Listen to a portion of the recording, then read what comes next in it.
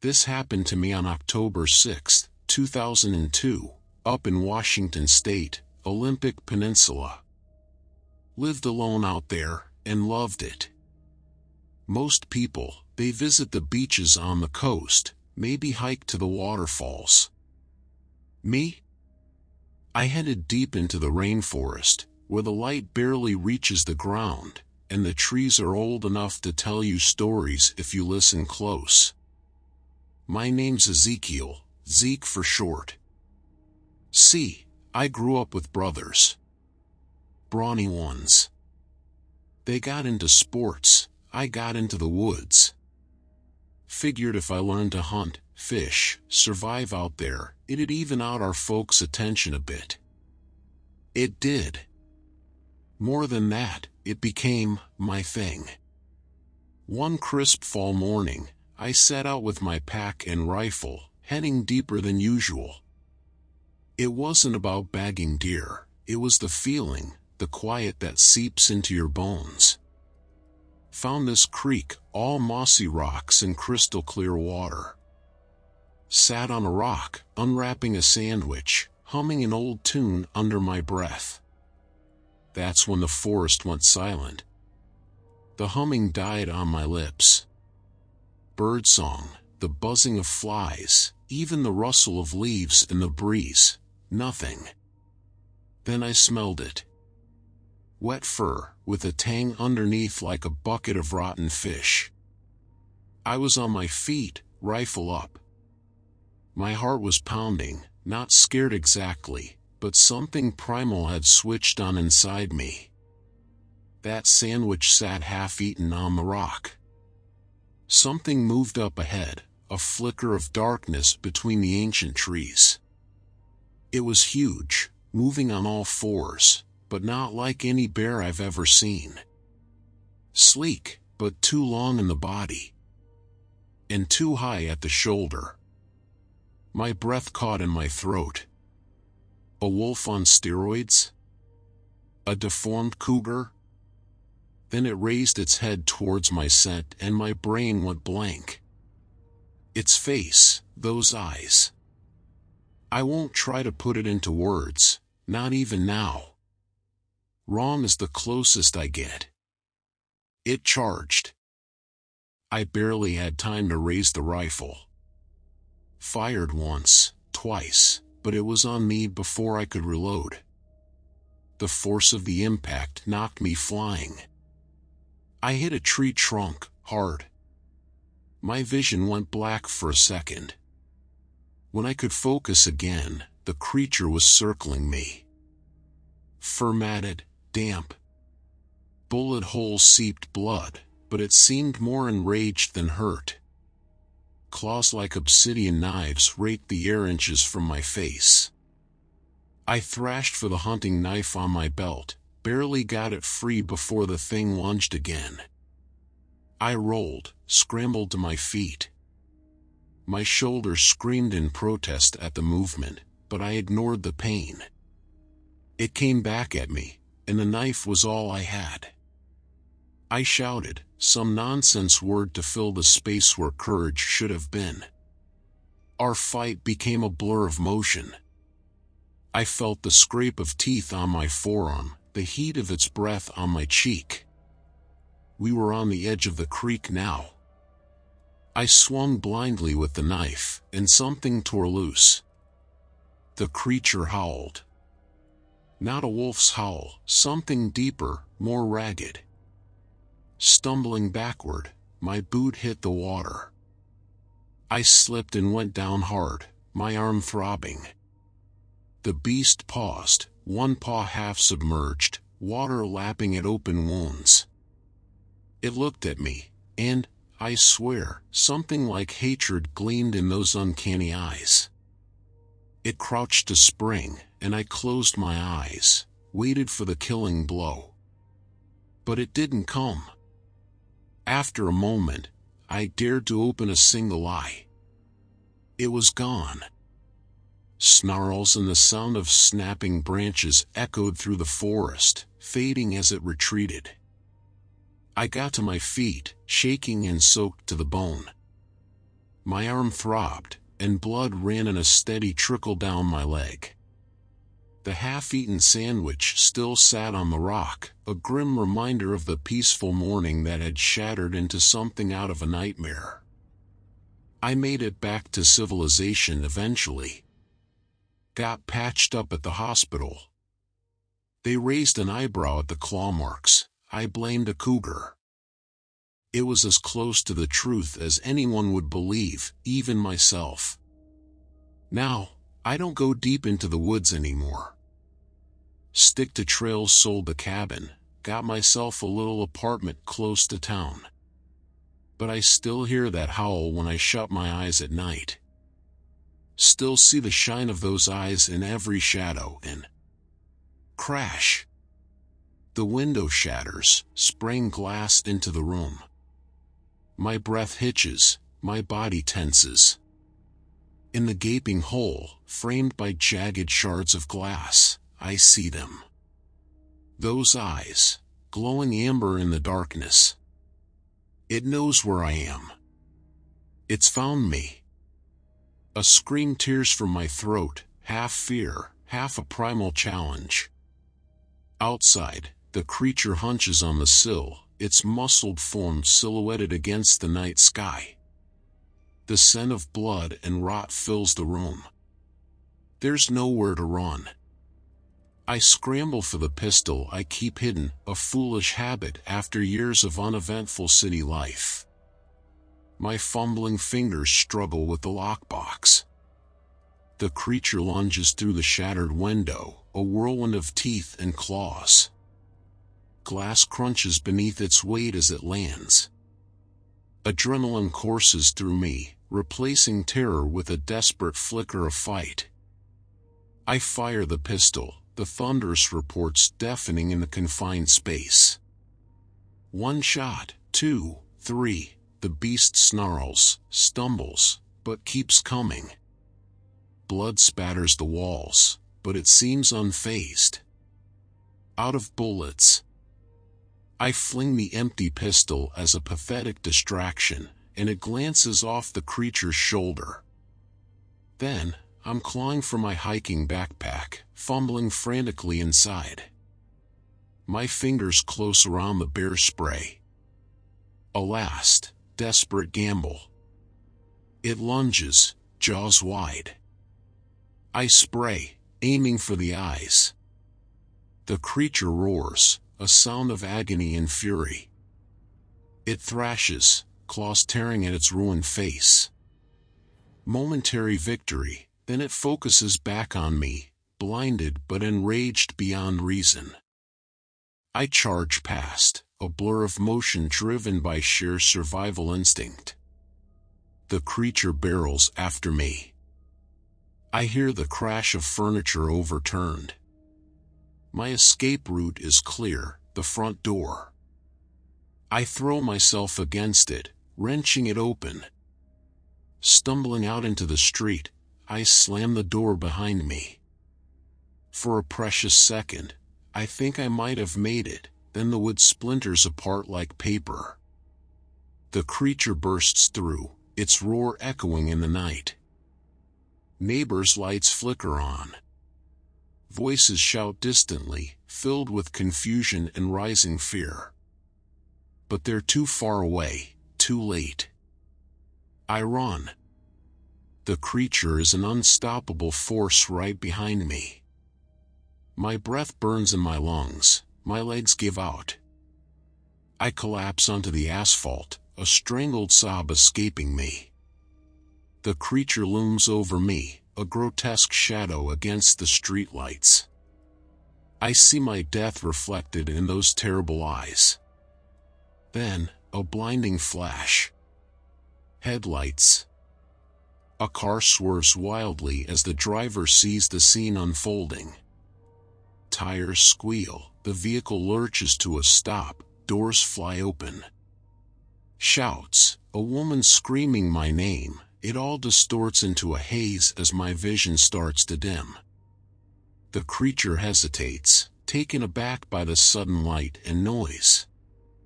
Just enough time. Rough hands pull me up, half drag me towards the car. Pain explodes in my side as those terrible claws rake across my flesh. The car door slams shut. I slump against the seat, my body a screaming mass of agony. The engine roars as we speed away. I hear the creature's enraged bellow fading into the distance. The hospital. A blur of faces, questions that go unanswered, the persistent beeping of machines. Then, silence, blessed merciful silence as drugs dull the pain and drag me into darkness. When I wake, it's to the low murmur of voices outside my curtain cubicle. A police officer, a stony-faced woman in a suit claiming to be a wildlife investigator. They want my statement, the official version of events. A bear, I say, a rogue grizzly maybe. Anything but the truth. They exchange glances but don't press. I'm the sole survivor, my words all they have to go on. News reports follow. Wild animal attack. A freak occurrence. They theorize, drawing tidy conclusions the public desperately needs. Local hunters organize, promising swift justice for the victim. My apartment building is swarmed by reporters looking for a scoop, hungry for the survivor's story. I slip away unnoticed. A new city, a fake name. No forwarding address. The nightmares persist, worse for the knowing they're not nightmares at all. Every rustle of leaves sends a jolt of terror down my spine. The shadows always seem to hold eyes. They say I'm lucky. I got away. But I know they're wrong. A part of me died back there in that shattered apartment, clawed into oblivion by something monstrous and real. And I know, deep down where the terror lives, that it hasn't forgotten. It knows I survived. It waits. And someday, somewhere, those eyes will find me again.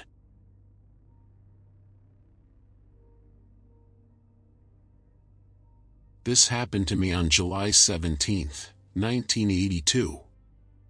Lived in a cabin tucked way back in the Ozarks. Figured a man could disappear out there, and if he wanted to be left alone, folks pretty much obliged. My name's Elias, Elias Barnes. Been a hunting guide most my life. Spend more time in the woods than in town. That summer was hot, muggy kind of heat that makes you sweat just standing still. Not much tourism, and the few locals heading into the hills were keeping to the familiar trails me. I needed something different. Heard rumors, whispers about a ridge way to the south, almost never explored. Old timers talked about an abandoned mine up there, maybe a cave system. My curiosity outweighed my common sense, as it often does. Took my old hound dog, Rusty, for company, and set off. Couple days of hard hiking, and the land started to change. Trees twisted, gnarled like something wasn't right with the soil. Less birdsong, the kind of quiet that makes your skin crawl. Even Rusty got skittish, whining and sniffing the air like he smelled something rotten. I should have turned back then. Should have, but I didn't. That afternoon, we came across the mine. Not much more than a gaping hole in the hillside, choked with vines and fallen rock. Something flickered in the shadows, just inside the entrance. An animal maybe? I knelt, peered into the darkness. It was too deep to see much, but then a pair of eyes gleamed back at me. Yellow eyes, reflecting the sunlight like embers. They blinked and were gone. I grabbed Rusty's collar as he lunged forward, barking furiously at the empty blackness. Easy boy, I muttered. Something was seriously wrong with this whole place. But I couldn't shake the feeling, the itch under my skin telling me I was close to something, something new, something unknown. Night fell quickly in those thick woods. We made camp nearby. I kept a small fire going, more to ward off the creeping unease than the chill. Couldn't shake the image of those eyes. Around midnight, Rusty bolted awake, growling deep in his throat. I reached for my rifle just as a shape detached itself from the shadows at the edge of the firelight. It was massive. Towered head and shoulders over me, even hunched over on all fours. Its body was lean, sinewy, hairless. But the face, if that's what you want to call it, haunts me to this day.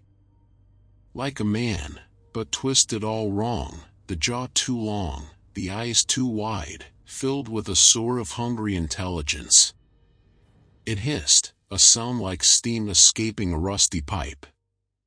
Rusty lunged, and the creature was on him. A blur of claws and teeth, a pained yelp, then, silence. I don't remember much after that. Just running, blindly, crashing through the undergrowth. Stumbling, falling, scrambling to my feet, the sounds of the creature close behind. Tripping over a root, my hands scraped raw on the rough ground. I turned, rifle raised. Two burning eyes in the darkness. Then it leapt. I fired, once, twice. The shots roared in the still night, but did they connect? I don't know. The creature, it faltered, stumbled. But it kept coming. And I ran. Through the night, through what felt like miles of twisting forest, I ran. The thing pursued me, keeping pace.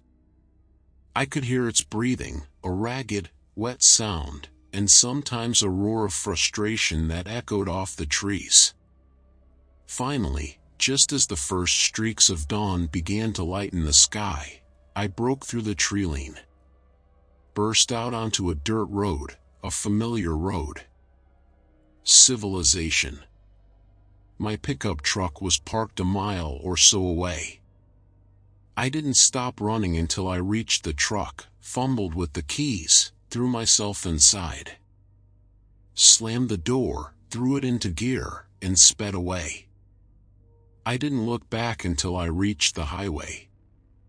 When I glanced in the rearview mirror, the forest loomed dark and silent. The creature was gone. Made it home. Stumbled into my cabin, collapsed on the bed, still clutching the rifle. When I finally woke, it was dark again. Every slam of the wind against the house, every creak of the old timbers sounded like claws scrabbling at the door. I knew, even without looking, it would be out there. Just beyond the light, watching from the trees. And that's when the true terror hit me. If this thing was smart enough to track me, smart enough to toy with me, then it would follow me home. This cabin, my sanctuary, was now a trap. The days blurred together. I barricaded myself in the cabin, the windows boarded shut, the doors braced. Every night, I heard it out there, the scratching at the walls, the guttural growls, chilling echoes of some predatory hunger beyond my comprehension. Rusty's collar sat on the windowsill, the leather worn thin from years of use. I found myself talking to it sometimes, whispering apologies for his fate, for my own cowardice. The loneliness was its own sort of madness gnawing at my sanity.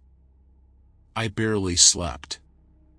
When I did, the nightmares were worse than reality, flashes of blood-spattered fur, the creature's relentless pursuit, and those eyes burning into my soul. The supplies wouldn't last forever. Desperation grew like a weed inside me. I knew I couldn't stay here.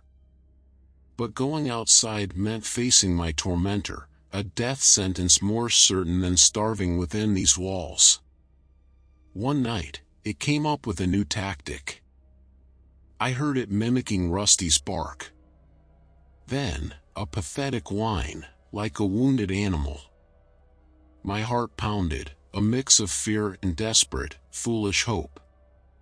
Had Rusty somehow survived? I knew I was being played, but the isolation, it had worn me down. I cracked open the window, rifle raised. In the pale moonlight filtering through the trees, I saw nothing at first. Just the shadows playing tricks, feeding my desperation.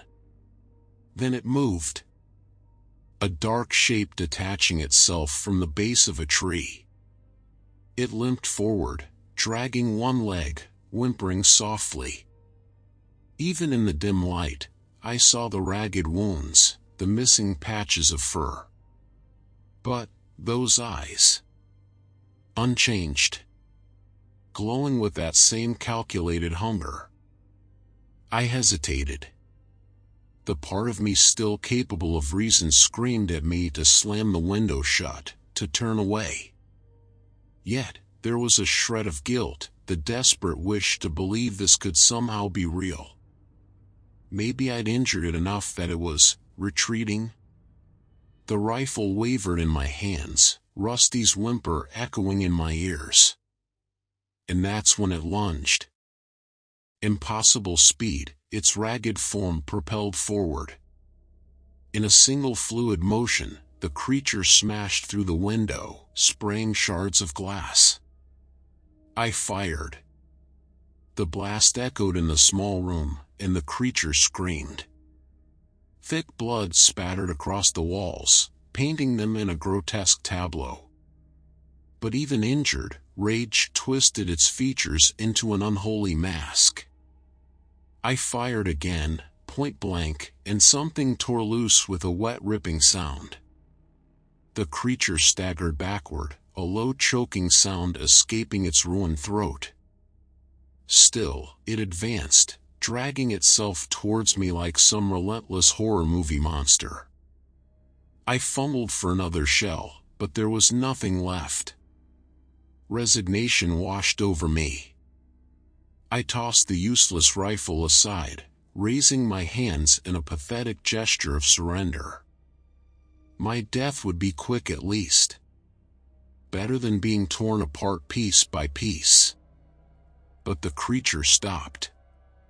It slumped against the far wall, ragged breaths fading. The yellow eyes fixed on me, and in them, I saw a glimmer not just of hate, but of satisfaction. Then, with a final shudder, it went still. The authorities found me two days later holed up in the ruins of my cabin, babbling nonsense about monsters and glowing eyes. They didn't find a body, just the trails of blood, some strange inhuman footprints leading away from the cabin and disappearing into the woods. I ended up institutionalized. They call it trauma-induced psychosis. It's a tidy diagnosis, a way to dismiss what can't be explained. The staff changes, but I remain a fixture. In the quiet hours, I sometimes catch a whiff of wet fur and something foul underneath, clinging to my clothes. And some nights, very late, when the wind howls around the stone walls of the hospital, a part of me believes that it might be calling for me. That it's not dead. Not really. Every so often, a new hiker vanishes in the Ozarks. Search parties scour the hills, come back empty-handed. Old timers in the nearby towns shake their heads, mutter about that ridge best left alone, about the evil things lurking in the deep woods.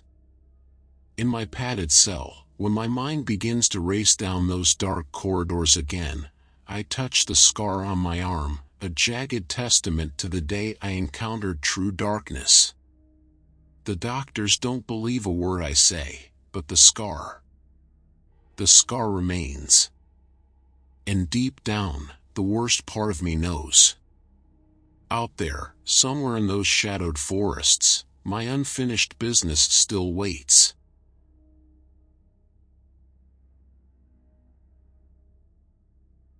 This happened to me on February 22, 1996. I was living out in the Colorado Rockies, a little off-grid cabin a buddy and I had rehabbed a couple years back. Most folks think of those mountains as touristy, but we were way out on the western slope, where towns are few and far between. Figured after my divorce, some quiet wouldn't be the worst thing in the world. Name's Caleb. I used to hunt a bit, mostly deer and elk kept my skills sharp and the freezer full. That afternoon I set out for an easy hike, just me and the dog, Gus. He was a big old mutt, a rescue, figured having him around would be good security out in the sticks. It was that weird in-between weather, winter holding on but hinting at spring. We were following a deer trail up a ridge, going higher than usual. The higher we got, the less Gus seemed to like it. He kept whimpering, looking back over his shoulder. I figured he was just being his usual nervous self. Then we reached the crest, and I saw it. Not the view, I mean. Something was wrong with a clump of trees up ahead. Bark stripped, branches torn up, almost like something huge had ripped through them in a fit of rage. Something big. My heart starts to pound, but logic kicks in, bear country, most likely. Bear with a bad temper getting ready to hibernate maybe. I put myself between Gus and the damage, raised my rifle, more as a warning than anything else. I stepped closer, calling out to warn the bear off. Gus was practically hiding behind my legs now. That's when I saw the blood. Not much, just a few spatters on the snow. And fur. Black fur, coarse and long. Stuck to a branch, caught on the rough bark. My mind raced. That fur wasn't bear fur. I moved closer, wary now. Something was wrong. Then I saw them, footprints. Massive things, sunk deep into the melting snow, not paws, almost human-like, if a human was a giant. Suddenly, Gus bolted. Took off into the trees, barking frantically. Stupid dog, what was he thinking? I cursed under my breath, then followed. I couldn't leave him out there alone. We ran deeper into the woods, the prints leading us onward. The lights started to fail, long shadows stretching across the forest floor. Gus had stopped barking, replaced by a low whine. The hairs on the back of my neck stood on end. Then, we stumbled into a clearing and it was there. I froze. Gus whimpered and tucked himself against my leg. The thing was immense, standing on two legs easily ten feet tall. Sleek, but too long in the torso, the limbs too powerful to be human. The face, those eyes. They stared back at me, burning with a chilling intelligence, filled with a sort of hunger. It roared, a sound that shook the trees around us. My ears rang, my hands slick with sweat on the rifle. I aimed and I fired, the sound echoing through the dusk. The creature stumbled, a howl piercing the air. I saw blood but it kept coming. I fired again, and again. It staggered, but with every shot, it seemed to get angrier, more determined. Gus yelped, wrenched himself free, and ran. I yelled for him to come back, but my voice cracked, barely audible over the creature's rage-filled roars. Then, the unthinkable happened. The creature changed focus, lunging not towards me, but towards the fleeing dog. I watched in horror as it closed the distance in a few monstrous strides. Gus never stood a chance. A flash of movement, a terrible yelp cut short, and then, silence. Just the ragged breathing of the beast as it turned back to me, its muzzle slick with crimson. And the worst part, the worst part was the look, almost satisfied. I ran. I don't remember much of the escape. Just the sound of my own ragged breaths, the pounding of my heart, and the certainty I was going to die in these woods. The creature was toying with me, I realized. Keeping pace, letting me think I had a chance. By the time I burst from the woods onto the dirt track leading back to my cabin, it was nightfall. The creature didn't follow me into the open. Just a silhouette against the horizon, unmoving. I slammed the cabin door shut, fumbling for the locks. Slumping to the floor, every muscle trembling, I realized the truth. This wasn't a bear, not an animal I understood. It was watching. Waiting. And a low, scratching sound makes me freeze.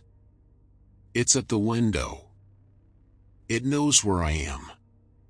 It's going to take its time. The scratching gets louder, more frantic. Each ragged sound sends a jolt of terror through me.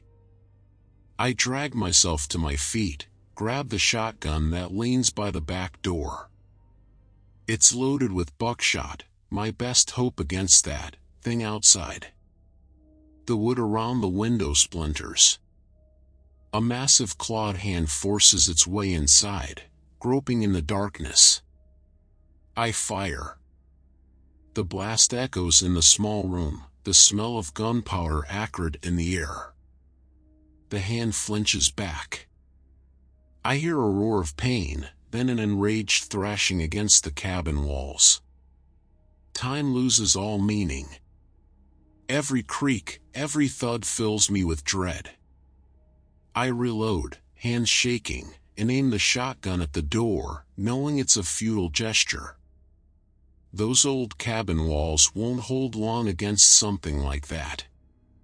There's a plan forming in my head, a desperate, reckless one. I grab my backpack, matches, a flashlight, the few supplies I'd kept stashed for emergencies. Then, the kerosene lantern. The one I keep full for nights when the old generator fails. Another crash. The back door hinges scream in protest. I move towards it, not away. With a trembling hand, I strike a match and light the lantern's wick. The creature bursts through the ruined doorway. A grotesque parody of a man, dripping blood, a mangled hand dangling uselessly. For a heart-stopping moment, we freeze, predator and prey, locked in a final desperate standoff. I toss the lantern. It shatters against the beast's chest, kerosene splashing, flames crackling to life instantly. The scream it lets out is an animal, isn't human. It's something far worse, a mix of fury and agony. The creature becomes a raging inferno, a pillar of fire in the small space of the cabin. I dive past, out into the night. I don't look back until I reach the edge of the clearing. The cabin is fully ablaze now. The flames lick at the night sky, the heat intense even from a distance. Within that burning pyre, the creature thrashes, its screams echoing gruesomely in the darkness. Then, silence. The flames begin to die down, leaving a smoking, smoldering ruin. My home, my safe haven, gone. And with it, perhaps, the monstrosity that stalked me. dawn paints the sky in bleak colors. My legs give out, and I collapse on the cold ground, my body finally accepting the exhaustion it had fought for so long. There's nothing left to run from, and nowhere left to run to. When help arrives, it's slow and disbelieving. Forest rangers, brought in by the smoke plume, find me at the scene. My story, well, let's just say it lands me in a different kind of confinement. Hospital Psych Ward. They spin the official tale, fire started by a faulty lantern, man traumatized by the ordeal, imagining the rest. They say I couldn't have survived a bear attack, certainly not a fight with one. No sign of Gus is ever found. I don't fight them. Part of me believes they might be right. Did I hallucinate, driven mad by the isolation, by the echoes of my own fear? But then there are the nights when I wake screaming, the smell of burning fur and something far fouler heavy in the air. The nights when I see those burning eyes in the darkness, filled not just with rage this time, but a chilling promise. News filters into the ward. Hunters disappearing in the same stretch of mountains. Campers found torn apart. Whispers of something unnatural, something the locals can't explain. The rangers start patrolling in pairs, armed with heavier weaponry than normal. I say nothing. Let them think it's a rogue grizzly, a freak occurrence. Let them feel secure in their explanations. Because I know the truth. I know that somewhere out there, in the vast untamed wilderness of the Rockies, it roams. Maybe it's injured, maybe dying from the burns.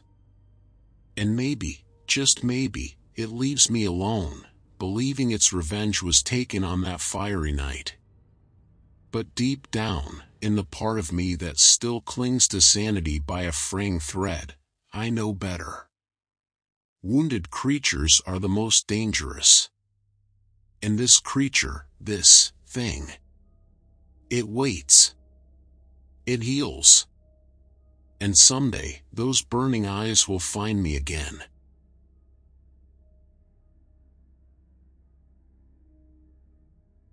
This happened to me on October 23, 2012, somewhere deep in the Idaho backcountry.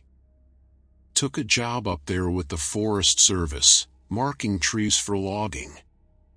Got myself a little cabin just off a dirt road, miles from civilization. Figured some time alone after the divorce was just what I needed. My name's Rick. Bad idea. Real bad. Should have left right away. Should have listened to those gut feelings that prickled the back of my neck the first time I heard those howls echoing through the trees at night.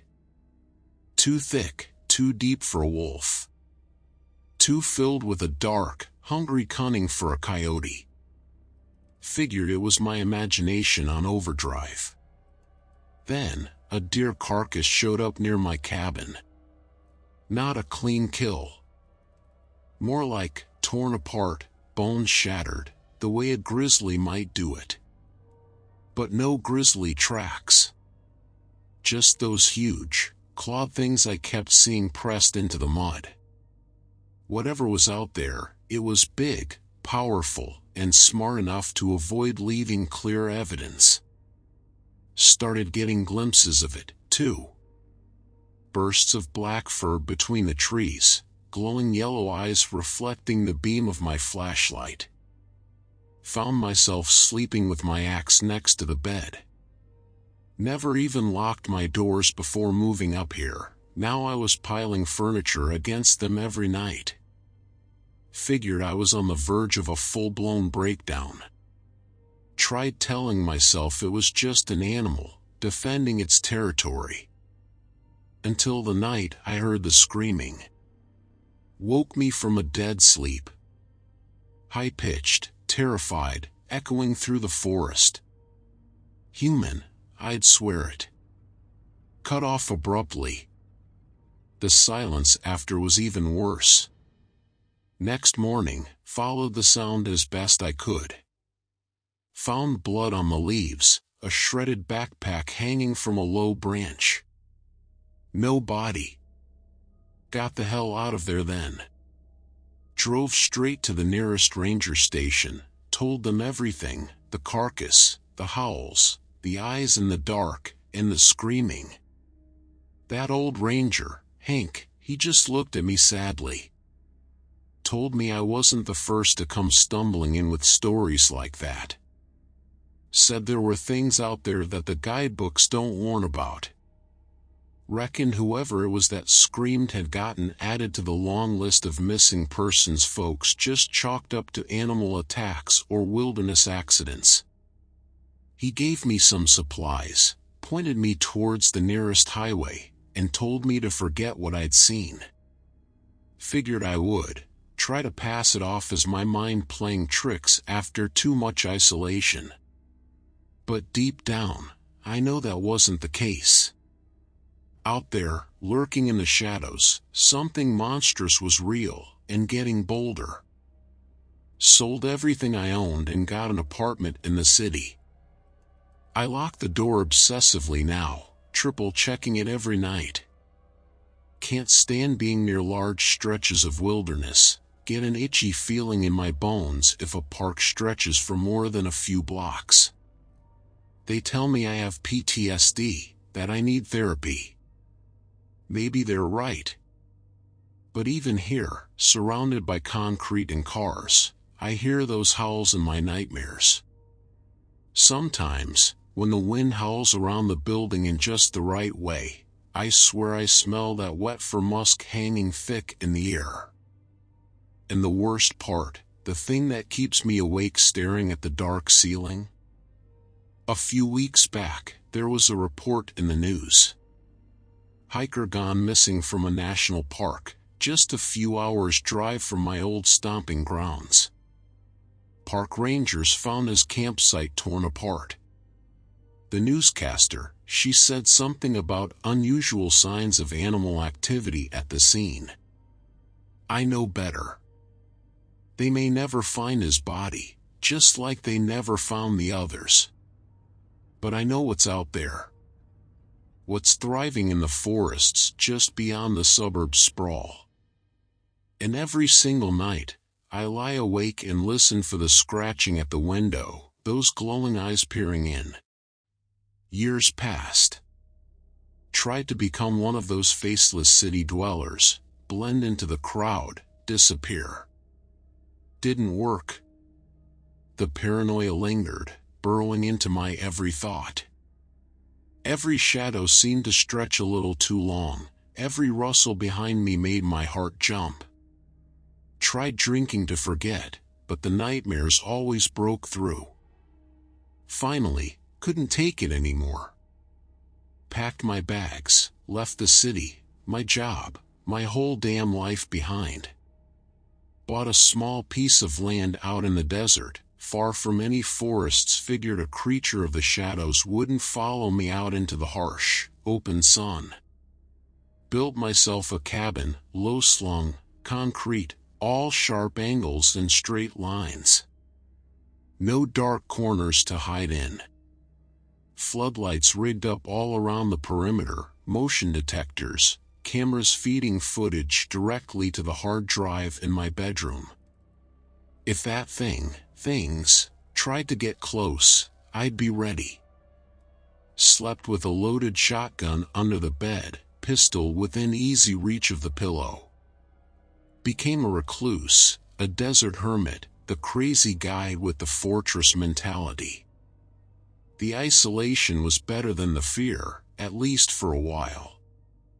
Then the dogs started disappearing. Ranchers' pets, strays that wandered too close to the scrubland bordering my property. At first, I figured coyotes. Then I saw the tracks around one half-eaten carcass, too big, the claws too damn long. My blood ran cold. It took years, but it had found me. doubled down on the defenses. Got myself two huge Dobermans, trained them for attack. Built a high perimeter fence around the property, barbed wire top and bottom. Never went outside at night. But I could feel it out there, circling just beyond the floodlights, a malevolent hunger in the darkness. The tension was unbearable. Waiting for the attack, not knowing when or how it would come. Knew in my gut, though, that this time wouldn't be just snatch and run. This time, it was personal. One night, the dogs went berserk. Barking, snarling, throwing themselves at the fence. I scrambled out of bed, shotgun in hand, heart pounding. Floodlights blazed on, scanning the emptiness. Nothing. Just the wind whipping sand across the desolate landscape. But the dogs wouldn't calm down, staring into the darkness, hackles raised. Finally, I saw it, a flicker of movement at the edge of the light. Just a glimpse, then it was gone. But that glimpse was enough. Not one creature this time, but three. The massive, hulking leader, its eyes blazing. The smaller one, still huge, but with lighter fur. And then, my blood froze, a third shape slinking between them, smaller yet, gangly limbs too long, but that same monstrous wolfish head tilting with chilling curiosity. A cub. That's when I knew I couldn't win. A mother, protecting her young, driven by an instinct older and fiercer than anything mankind could muster, it was hopeless. It was only a matter of time until they found a way past my defenses. The locals found me two days later, or what was left of me. Cabin was torn apart, the concrete walls clawed open like they were cardboard. Cameras were smashed, footage corrupted. The Dobermans, God, I won't even describe what they did to them. News said it was the worst animal attack they'd ever seen. Ripped the story straight from the headlines, rogue bear, maybe even a whole pack of feral wolves, driven mad with hunger, gone completely off the rails. They test the soil for rabies, analyze the scat, try to fit the pieces into a rational pattern. But I knew the truth. This wasn't about rabies, or hunger, or even territory. This was a vendetta, a reckoning, monstrous and implacable as the desert itself. They hunted me, from the shadowed forests into the sun-blasted scrub, never giving up, evolving their strategy. Out there, in the vast uncharted wildness, they learned patience. I built my fort, they laid siege. They say there's no evidence to suggest anything other than an animal attack. But sometimes, late at night, I think I hear a whimpering on the wind. A mewling, childlike cry carried across the barren miles. And I know, out there under the wide desert sky, the family thrives. The next generation grows, learns the old ways, inherits the blood feud. I was just the first on the list, not the last. For all my concrete and floodlights and firepower, all it did was teach those uncanny predators how to adapt, how to play the long game. Hunters, they become the hunted. Hikers, campers, anyone foolish enough to think themselves safe out in the wilderness, they're all targets now. It's an open season that never ends, and the monsters have learned how to stalk unseen beneath the cloak of the normal, the explainable. Maybe someday, some smart biologist looking at the statistics of unsolved disappearances will notice the pattern, realize there's a new apex predator in play, a shadow species operating right under our noses. But by then, it'll be far too late.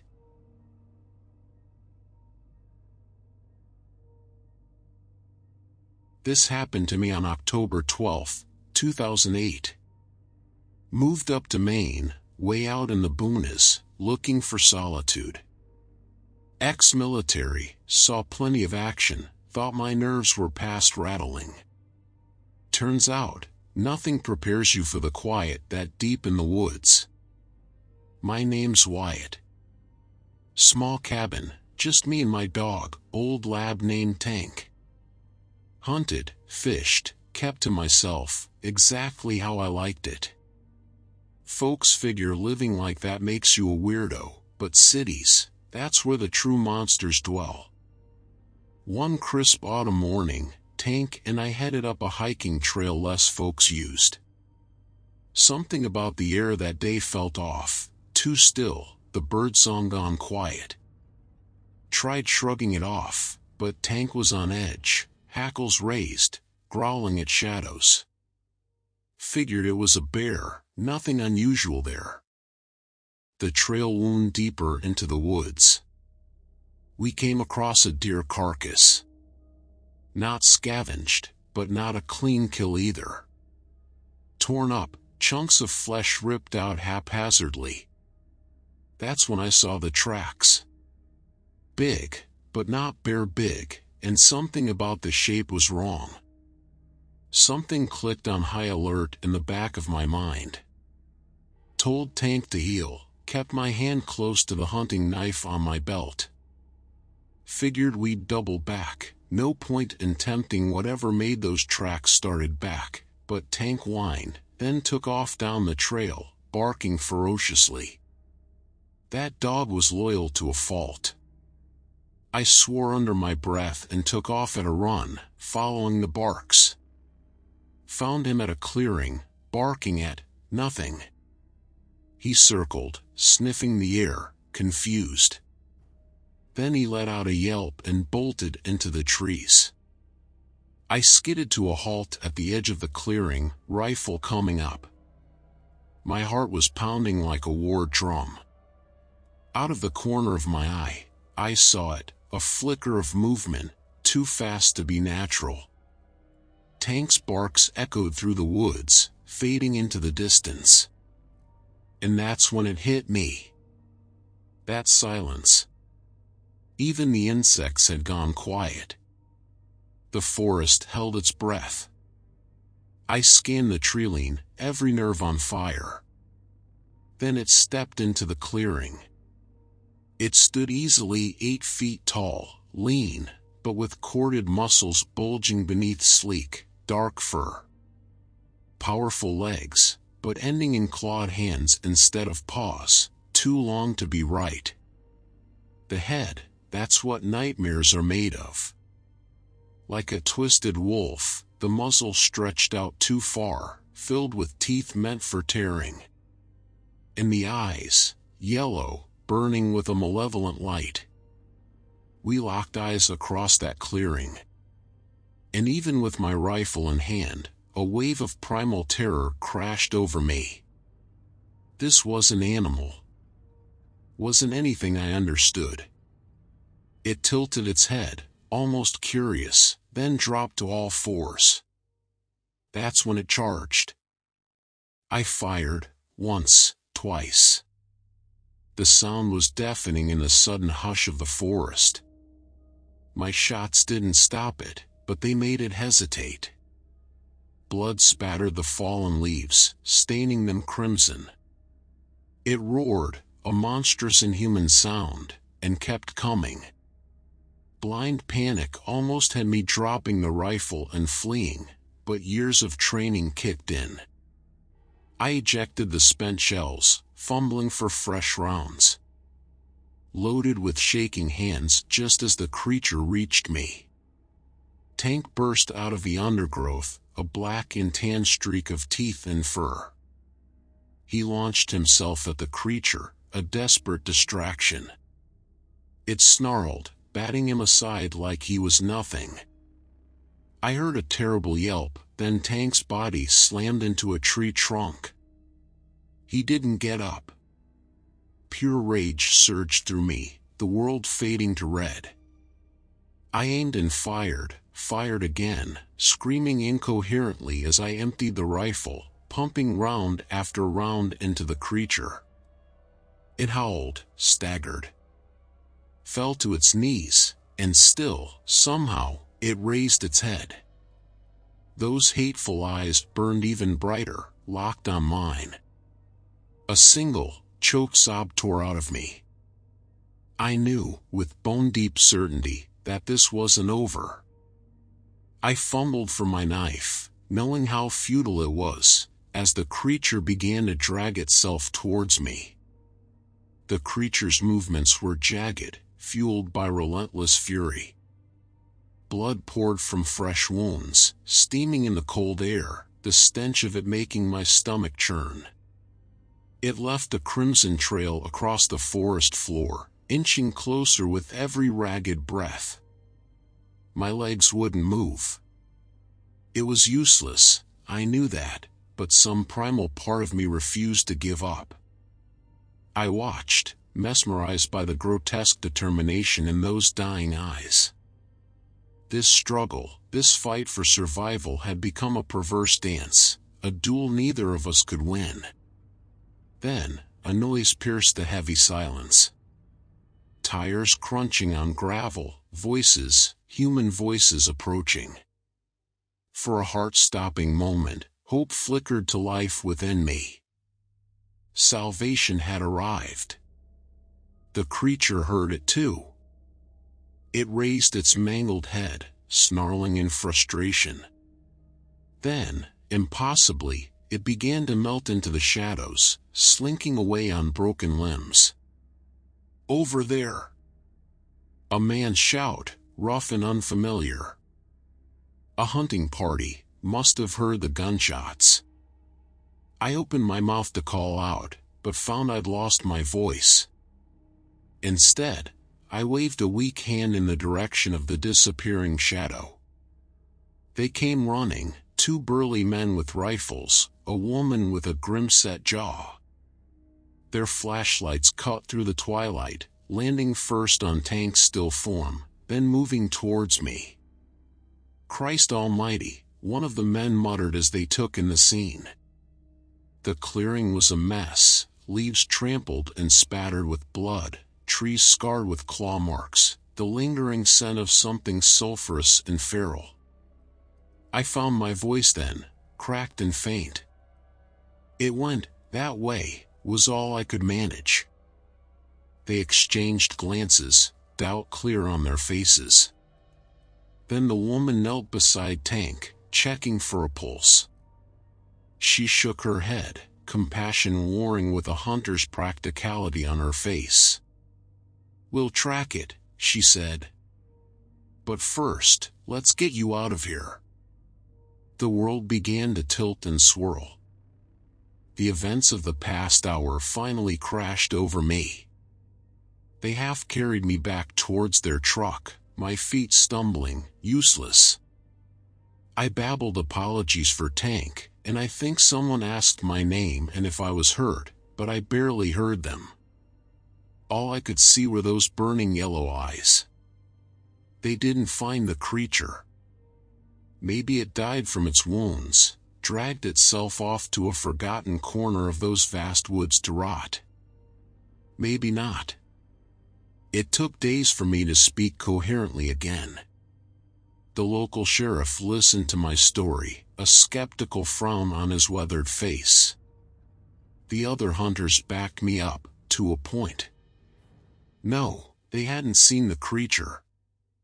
Yes, the carcass in Tank's body had looked odd. Accident report chalked it up to an unlikely bear attack. The papers ran a small column, Hunter loses dog, survives encounter with wild animal. It became one of those half-believed local legends whispered over campfires. The nightmares didn't stop. I'd wake up screaming, drenched in sweat, the taste of iron in my mouth and the image of those hate-filled eyes seared into my brain. Couldn't shake the feeling, the knowledge, that something monstrous still lurked in the heart of those woods. Folks started avoiding me. whispers followed me around town, Crazy Wyatt, the man who'd lost his mind along with his dog. They didn't see the way I flinched at shadows, the rifle I kept loaded beside my bed. They didn't understand that I wasn't crazy at all. I was cursed with knowing the truth. That cabin in the woods, my supposed sanctuary, became a prison. Every rustle outside sent my heart pounding. Every creak of the floorboards made me jump for a weapon. I left, of course. Sold the place for a pittance, disappeared into the anonymity of the city. But some nights, when the fog rolls in thick enough to obscure the streetlights, I hear a scratching at my apartment window. And I swear, in the flickering darkness between the buildings, I see flashes of yellow fire.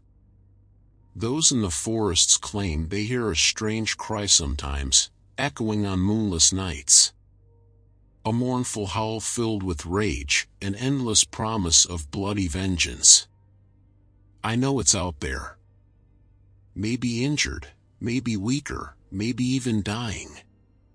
But knowing that doesn't bring me any comfort. Because a part of me believes that it might be healing. It might be learning from the encounter, adapting, becoming even deadlier. And as long as it exists, I'll never truly sleep soundly again. It bides its time, a hunter scarred but unbowed. And deep down, I know it's only a matter of time before our paths cross once more. The only question is, when that day comes, will I be the hunter or the prey?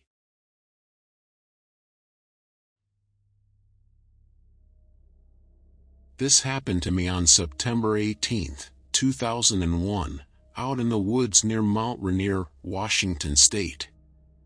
Folks thought I was crazy moving into a cabin out there after, after everything. But I needed space, to be alone after losing Sarah. My name's Caleb. I used to hunt a lot, deer, elk, mostly. Figured living out in the backcountry, I'd need those skills kept my rifle clean and practiced at a little makeshift range I'd set up in a clearing. Guess part of me figured being armed would make me feel safer. Didn't then, certainly doesn't now. One late afternoon, I was out gathering firewood. Autumn chill was in the air, leaves turning. The woods felt different that day, too quiet. Even the birds had stopped singing. Then I saw them, tracks, way too big for a bear or cougar. Deep, in an odd, clawed shape. Figured it must be a hoax, teen pranksters messing with my head. Told myself that until the sun began to set and the trees cast long shadows. I swear I could feel something watching me from the deepening gloom headed back to the cabin, faster than I'd like to admit. Didn't sleep a wink that night. Next morning, armed with the rifle and more courage than sense, I followed the tracks led deeper into the woods, towards a part of the mountain less folks went. Started finding signs of something. Ripped up tree trunks, first snagged on branches, dark and coarse and a smell, rotting and foul, hanging in the air. That's when I saw it. Standing in a sun-dappled clearing, its back to me. Massive, a towering figure covered in dark matted fur, the head, the head was what nightmares are made of. Like a wolf, but monstrously distorted, the snout long and dripping. It began to turn, and I saw those eyes, blazing yellow with bottomless hunger. I froze. Not in fear, something else.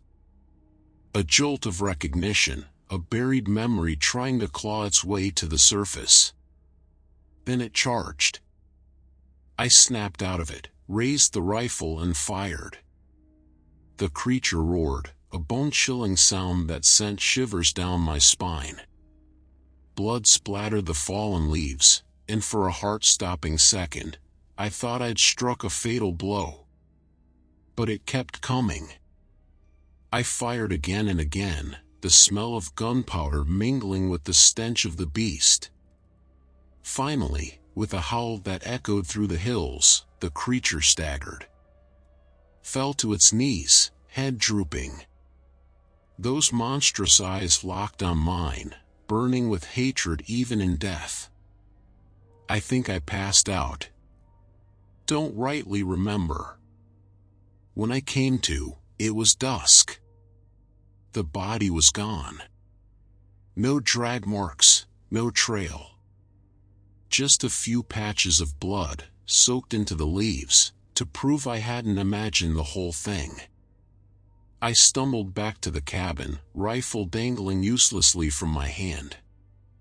Something shifted that day, both in the woods and inside me. The locals think I'm losing it, whispering about another hiker found ripped to shreds nearby. They blamed it on a rogue cougar, but I know better. Now, every time the wind moans through the trees, every time a branch snaps in the night, I taste iron in my mouth and the image of those eyes flashes back into my mind. Because I didn't just kill something that day in the woods, I awoke something far older, far darker. It knows where I live. It knows I'm alone. And the worst part? This strange, twisted sense of deja vu, a memory from another life, another time, prickles the back of my neck. Another confrontation, bloody and brutal, echoes through my dreams. Another ending I didn't survive. That haunted feeling, it didn't get better. Each day, the certainty grew that I wasn't being hunted, wasn't being stalked. This was something else. Like a game, an echo of a past conflict, destined to play out again. Nights became unbearable. I'd bury the windows, bolt the doors, my rifle loaded beside my bed. Every rustle outside, every creak of the old cabin made me jump. But still the nightmares came, even when I managed to snatch a few hours of fitful sleep. The hulking figure, the yellow eyes, and always, the same bloody end, my bloody end. The days weren't much better. I spent them fortifying the cabin. Traps around the perimeter, the ones meant for big game. I knew, deep down, they wouldn't make much difference. This wasn't a flesh and blood predator I was dealing with. One afternoon, I was chopping firewood, trying to exhaust myself so maybe, just maybe, I could sleep without seeing those damned eyes in my dreams heard a growl, a low rumble that sent a chill straight to my bones. Snapped my head up. It was there, standing a few yards away, just beyond the tree line. Watching me. Its form was almost human, but twisted grotesquely, too tall, too lean.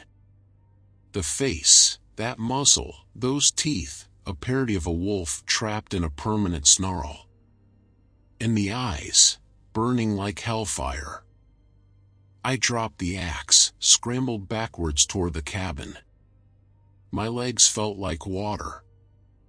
All those weeks of preparation, the traps, the rifle, none of it mattered now it was here.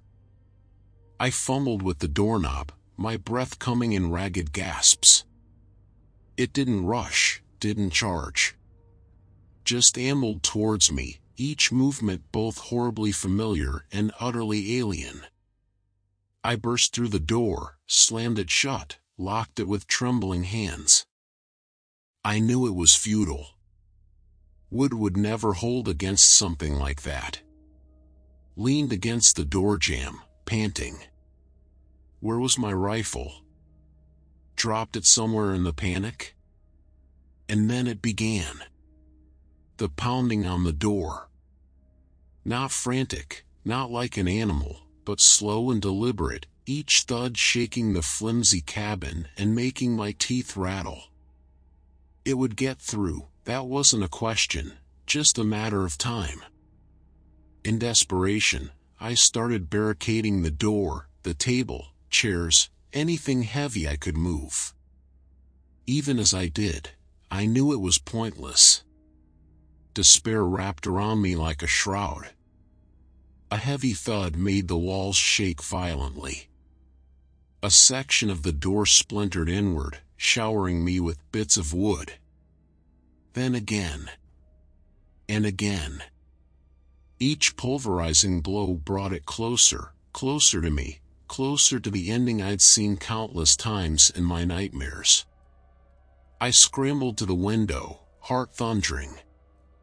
It was a long drop to the ground, but maybe, maybe if I could reach the woods, hide, perhaps it would lose interest. Blindly, I wrenched the window open and hoisted myself onto the sill. And then, they were there. Its eyes. Glowing in the semi-darkness of the room.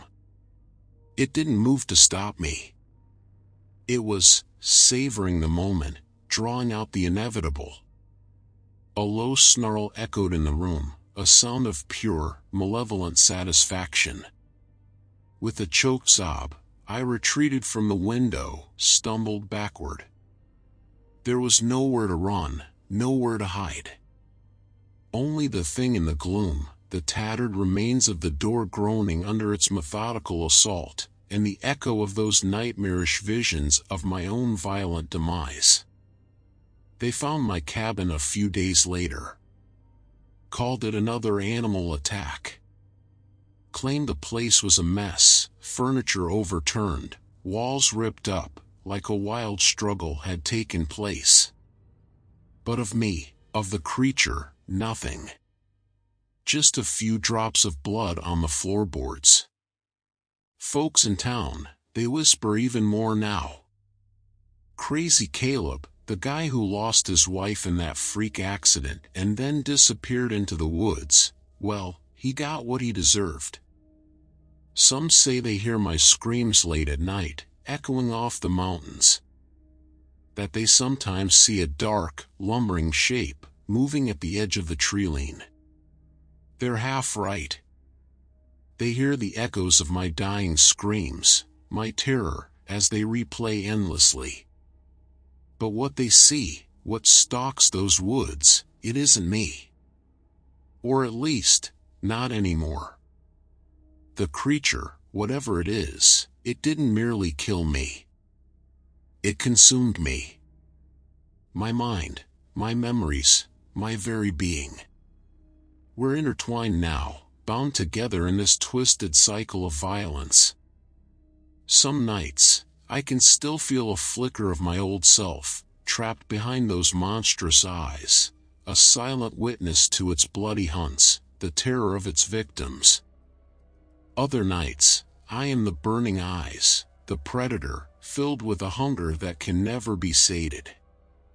And the worst part, the part that chills me to the very core of what's left of my soul. Somewhere, buried under layers of nightmare and instinct, is the perverse knowledge that, one distant lifetime ago, this was a role I chose.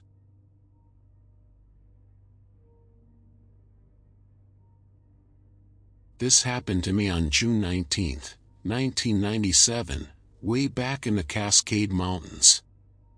Ex-military, looking for peace and quiet. Got hired on as a caretaker at an old hunting lodge up there, a place so remote it was only reachable by a rough dirt road for a few weeks a year. Figured it'd be perfect. My name's Wyatt. Those first months were exactly the escape I craved. Hiking, fishing, maintaining the lodge, just me in the vast wilderness. But come winter, when the snows cut me off from the outside world completely, things shifted. Started with that feeling you get, the prickle at the back of your neck that says you aren't alone. Heavy footsteps circling the lodge at night, but when I'd go out, guns in hand, flashlight blazing, always nothing out there. Then things started disappearing. Tools, supplies, small game I'd trapped. Chalked it up to my own carelessness at first. Then one morning, I found tracks huge tracks, with long claws, bigger than any damn bear I'd ever seen. Right outside my cabin door. That's when the dread settled into my bones. Whatever was out there was big, smart, and getting bolder. Started leaving meat scraps at the edge of the woods, hoping to placate it. The food would disappear, but the tracks kept coming closer. Should have left then. Packed up while I still had a chance. But that stubborn streak kicked in, the I ain't afraid of no damn monster, bravado. Built heavier barricades, stocked up on ammo, turned the lodge into a fortress. Figured I'd see this through, come hell or high water. One night, it came. Blizzard was raging, the wind screaming like a banshee. I was hunkered down, shotgun in my lap, staring out the narrow window into the swirling snow. That's when I saw them. Two glowing yellow eyes, piercing through the storm, reflecting the firelight. It was massive, easily taller than me even on all fours. Covered in coarse, dark fur that seemed to ripple in the shadows. The head, nightmare fuel. Wolf-like, but stretched and distorted, filled with a chilling intelligence. Terror made me freeze. It took a step closer, then another, its muzzle twitching as it scented the air.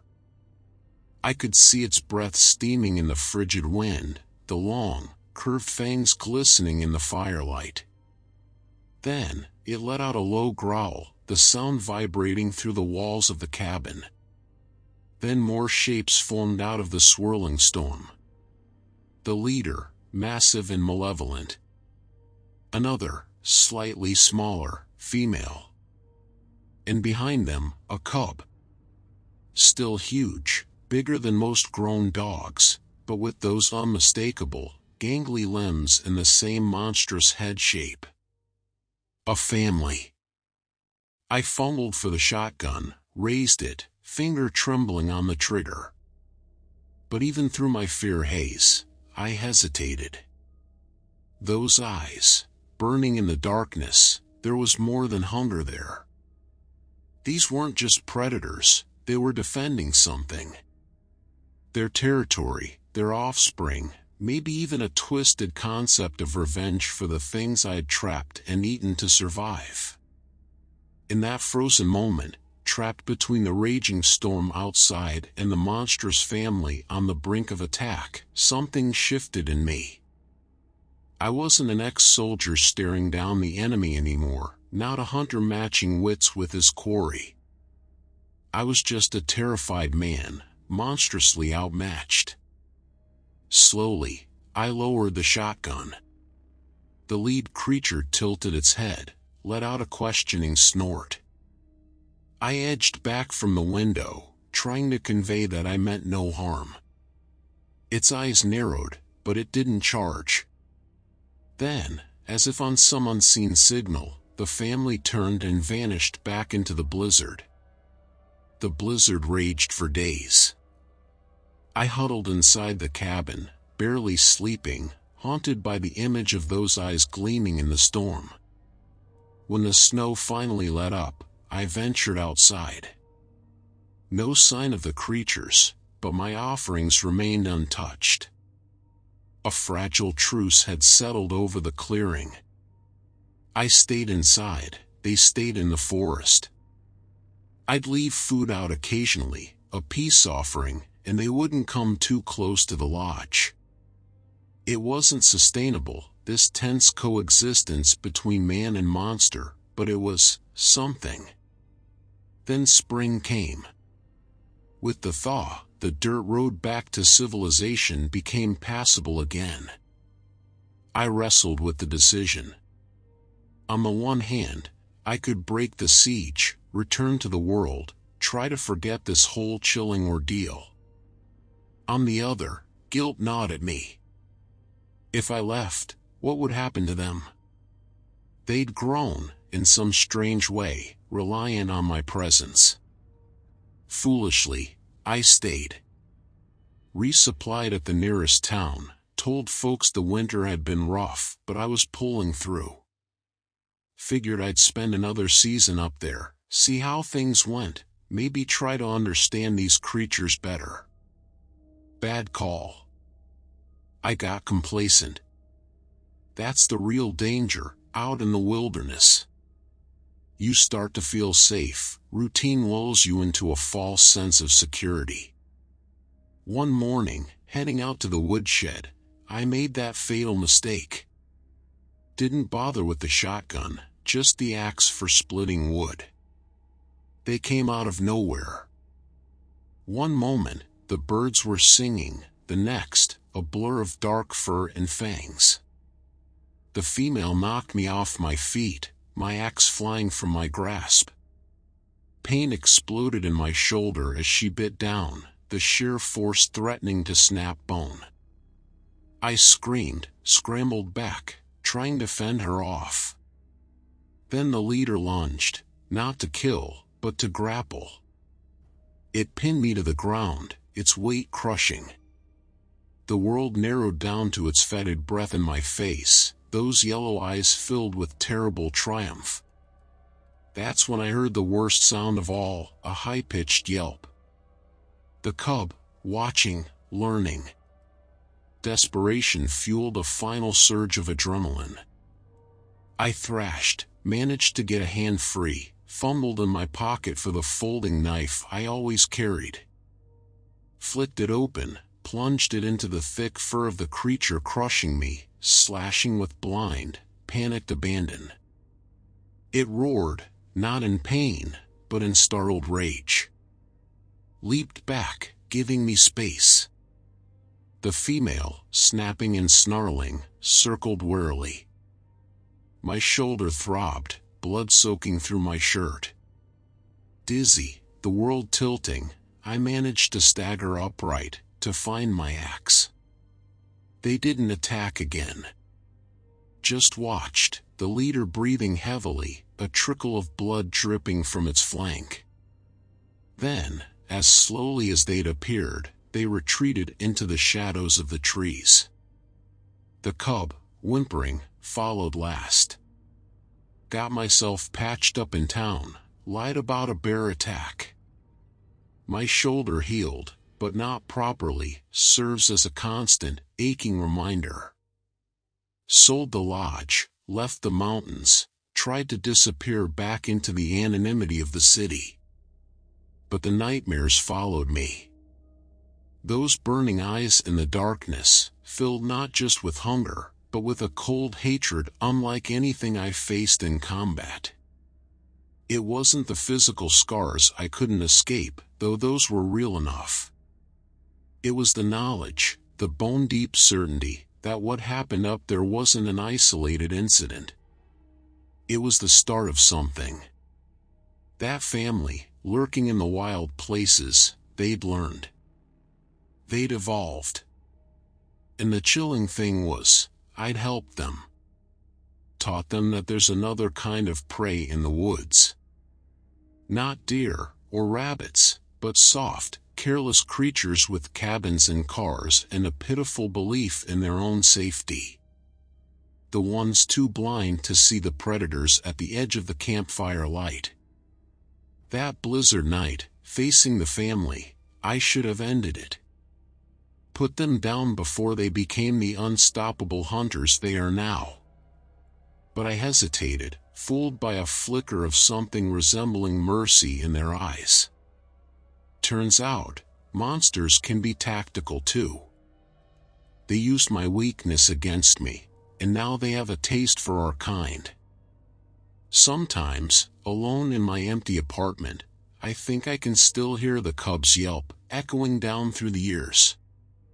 It's growing up out there, see? Bigger, stronger, with a pack of its own now, maybe. learning its parents' tactics, inheriting their cunning, and their hatred.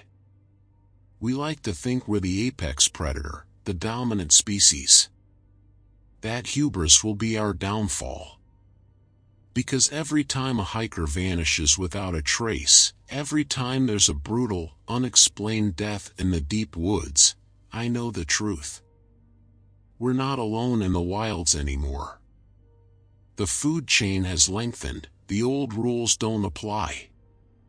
And, driven by a vendetta born in the frozen heart of that mountain winter, the new predators are circling closer.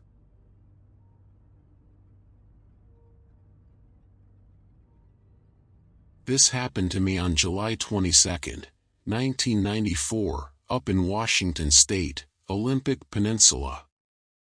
Lived in a small town then, worked as a park ranger. I'm Jonah. Always liked getting away from crowds, being out in the woods. Guess that makes me a predictable target for whatever lurks in the shadows. Been a hot summer. A lot of folks head up to the park for camping trips, hiking, the usual.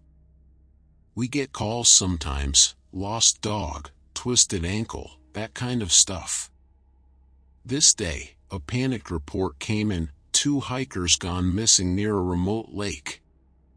Headed out solo. No one waits for backup in situations like that. Found their abandoned campsite easily enough. Gear scattered, some stuff torn. Bear attack crossed my mind at first. They can smell food from miles around, and if surprised, things can escalate fast. But something felt wrong. No drag marks, too much mess. Whatever happened here wasn't about hunger, it was about chaos, almost. Started tracking. The forest floor was dry, making it tough, but I'm good at my job. Found a single footprint, odd, way too big to be human. More torn fabric, snagged on a branch with a few strands of coarse dark hair stuck to it.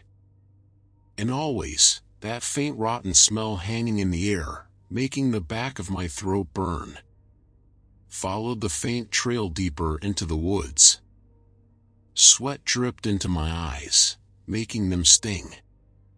Flies buzzed relentlessly. It was late afternoon, but the light filtering through the canopy felt sickly, the air heavy and expectant. I started hearing noises up ahead. Grunts, low and guttural, snapping branches, a sound like something heavy being dragged. Then I saw it not through the trees, but in a clearing just up ahead. It was hunched over something in the center, its back to me. Massive, covered in matted fur, claws glinting in the dim light as it tore at, at what was left of one of the missing hikers. Nausea hit me like a physical blow. I dropped behind a moss-covered boulder, rifle clutched in sweaty hands. My heart pounded in my ears, a roaring that almost covered the slurping, tearing sounds coming from the clearing. Had to think. Radio for backup men hours before help would arrive, by then. Thing was maybe 50 feet away. Too far for a clean shot through all the brush, and with the fading light. I cursed myself for underestimating this call for not bringing the heavy caliber rifle. Then it turned its head. Just slightly enough for me to see its profile and the flash of its yellow eyes. A jolt of true fear ran through me. That face, it was like a wolf, but pulled and stretched wrong. The muzzle too long, the teeth, no bear had teeth like that. Couldn't stay hidden. Whatever this thing was, it would smell me soon. Had to gamble, had to take the shot. Eased myself up behind the boulder, took aim, and squeezed the trigger. The roar of the rifle was deafening in the sudden stillness. The creature reared up, let out a howl that chilled me to the bone. It looked directly at me, those hate-filled eyes locking with mine. Then, it was gone, bounding away through the trees with impossible speed. There was a crash of undergrowth, and then silence. Hands shaking, I approached the clearing, dreading what I'd find, wishing I had waited. The remaining hiker was, no point in describing it. Let's just say I won't be needing dinner tonight.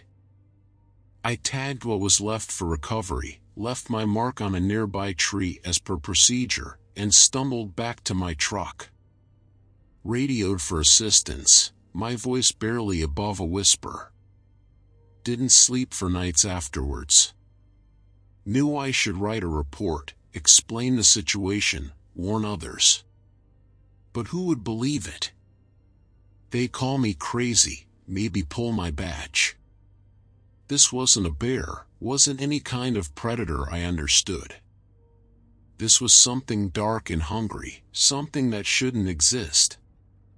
The report went down as animal attack, two fatalities. Every so often I see stories in the local papers about other disappearances in the park. Hikers vanished without a TR. I quit my job shortly after that. No way I was going back in those woods. Folks in town started giving me strange looks.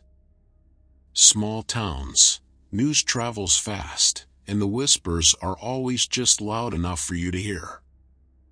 They thought the stress had gotten to me, that I'd snapped under the pressure. For a while, I drifted. Odd jobs.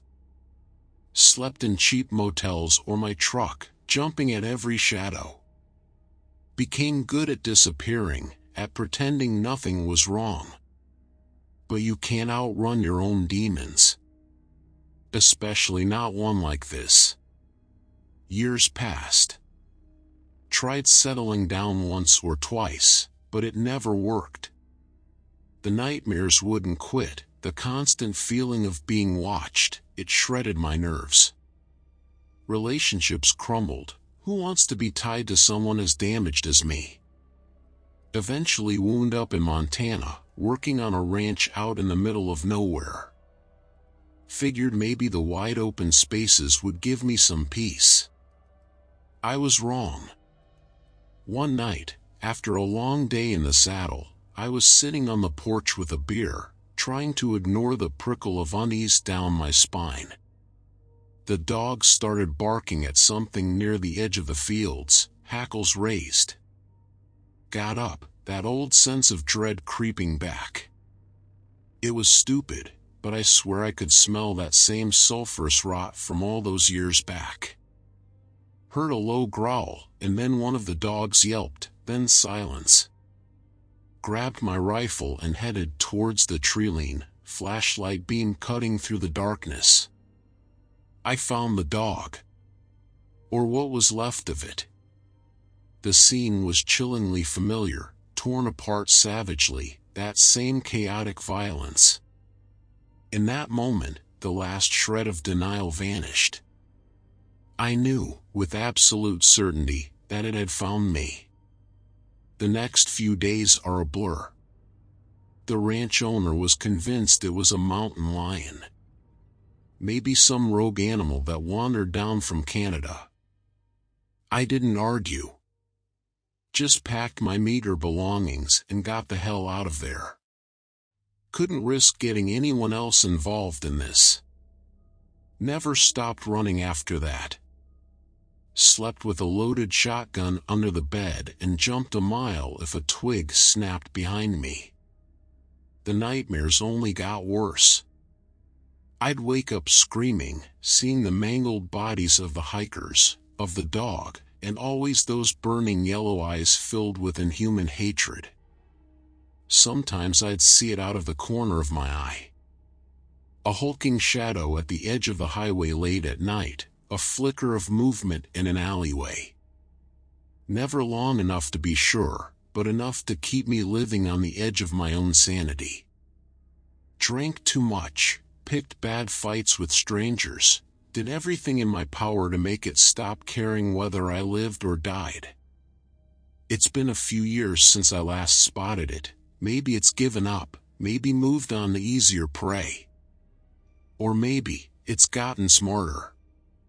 Patient. Learned how to wait in the shadows until I make a fatal mistake, until I get careless, and my guard slips. I've become obsessed with survival guides, with prepping for something. Stockpiling supplies, learning new skills. Moved into a rundown cabin off an old logging road, miles from civilization. Reinforced the doors, the windows. Lay traps around the perimeter. At night, I sit in the dark, every sense strained, finger curled around the rifle trigger. Some nights, I hear rustling out there in the woods. Sometimes, very late, I catch a whiff of that rotten, bloody smell. They call people like me paranoid. Unhinged. But I'll tell you this, there are things that exist in the shadows of this world, in the places where the trees grow old and the land feels forgotten.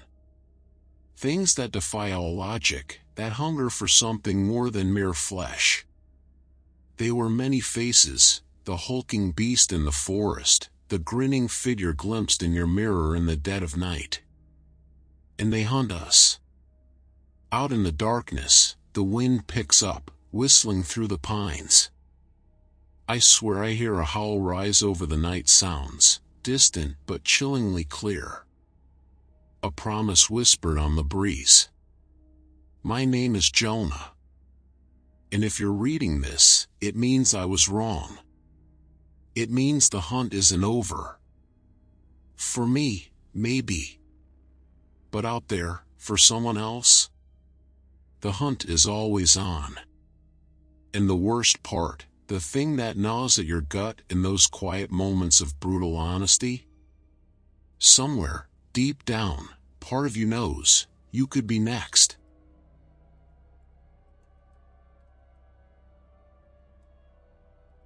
This happened to me on October 23, 1991, up by the Canadian border, in the North Cascades. Old growth forests there, places where the sun barely cuts through the leaves. Name's Ethan. Lived in a cabin, off-grid, back then. Like the solitude after, well, it doesn't matter now. I noticed things were off-kilter one morning while getting firewood. A heavy silence hung in the air, no birds, no insects, like the whole forest was holding its breath. Found tracks then, not deer or bear, but big and clawed. That night, I heard rustling, heavy breathing, from just beyond my circle of firelight. Next day, I was out hunting. Found a deer carcass, half-eaten, torn open in a frenzy. No predator leaves a meal like that. Got an uneasy feeling, like I was being watched. Chalked it up to nerves. Bad call. On the way back, it picked up my scent. I heard it before I saw it, a low growl that made the hair on my neck stand up, footsteps thudding on the forest floor. Broke into a run. Caught glimpses of movement through the trees, a flash of yellow eyes, and then it erupted from the undergrowth, a hulking beast lunged straight for me. I barely had time to raise my rifle, fire, before it slammed into me. We tumbled down a slope, the impact knocked the breath out of me, the gun flying from my grasp. Dazed, I looked up and saw it looming over me. Everything about it was wrong. Lean, but immensely powerful, covered in coarse dark fur. The head, that was straight out of nightmares. Wolf-shaped, but stretched and distorted, its fangs the length of my hand. But worst of all were the eyes, burning with predatory intelligence. I scrambled backward, hands searching desperately at my belt for the hunting knife. The creature lowered its head, sniffing the air, hot breath washing over me in a stink like a rotting carcass. It opened its mouth, impossibly wide, and let out a guttural roar. In that moment, time seemed to slow down. I knew this was it, that I'd end up like that half-eaten deer. But a stubborn, desperate part of me refused to just give up. I lunged for the knife just as the creature pounced. The blade caught it across the ribs, making it stagger. I tasted blood in my mouth, a mix of mine and the creature's from where it had pinned me down. Then, a noise shattered the deadly stillness. A distant gunshot, echoing through the trees. The creature hesitated, its yellow eyes flickering with something akin to uncertainty. Then, with a last frustrated snarl, it turned and vanished into the green gloom as quickly as it had appeared. I lay there on the cold forest floor, panting. My chest ached where its weight had landed, and I could already feel the bruises forming. I stumbled to my feet, half expecting to find the beast waiting in the shadows, that the gunshot had merely startled it for a moment. But it was gone. Shaking, I located my rifle and headed back to the cabin, not daring to look over my shoulder. Each snap of a twig made me jump, every rustle sounded like it was circling back. The whole forest felt tainted, charged with an unseen menace.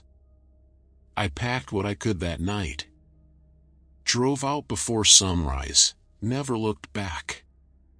Told myself it was an animal attack, maybe a rabid wolf or something. But deep down, I know differently.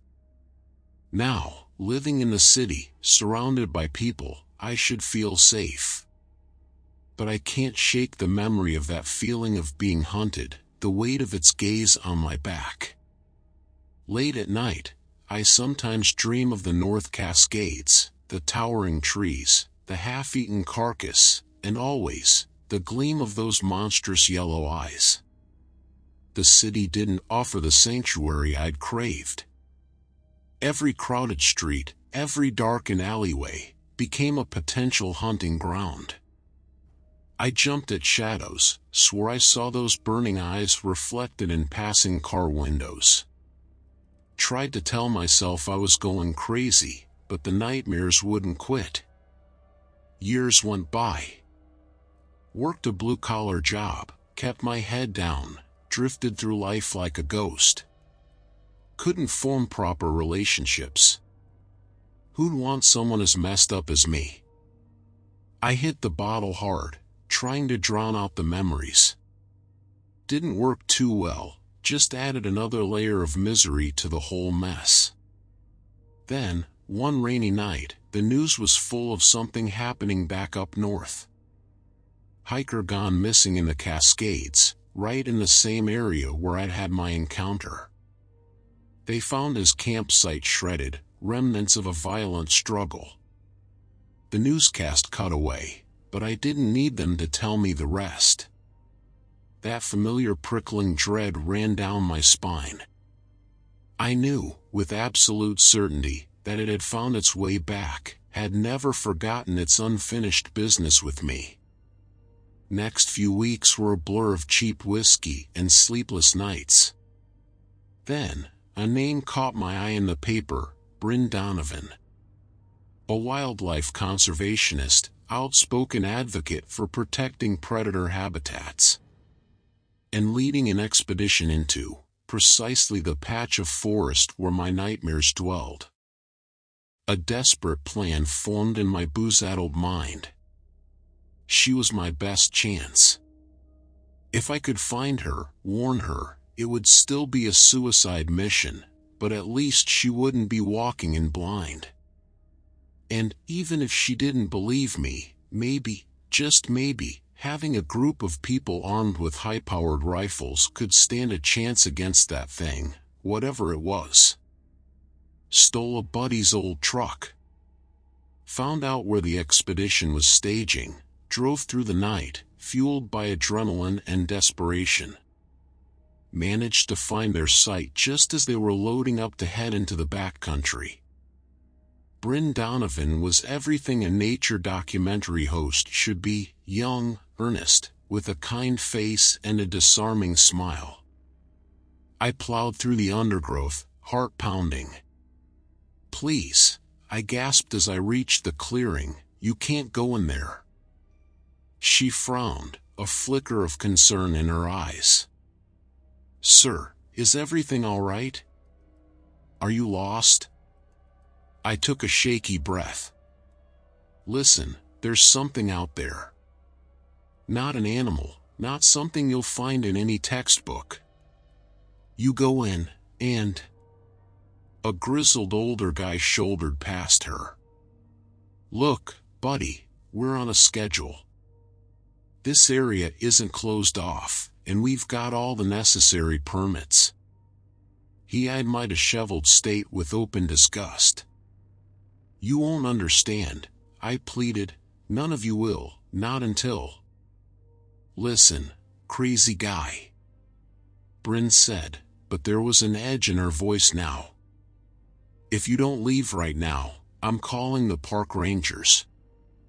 I stared at them, the well-equipped expedition team, the glint of scientific curiosity in their eyes.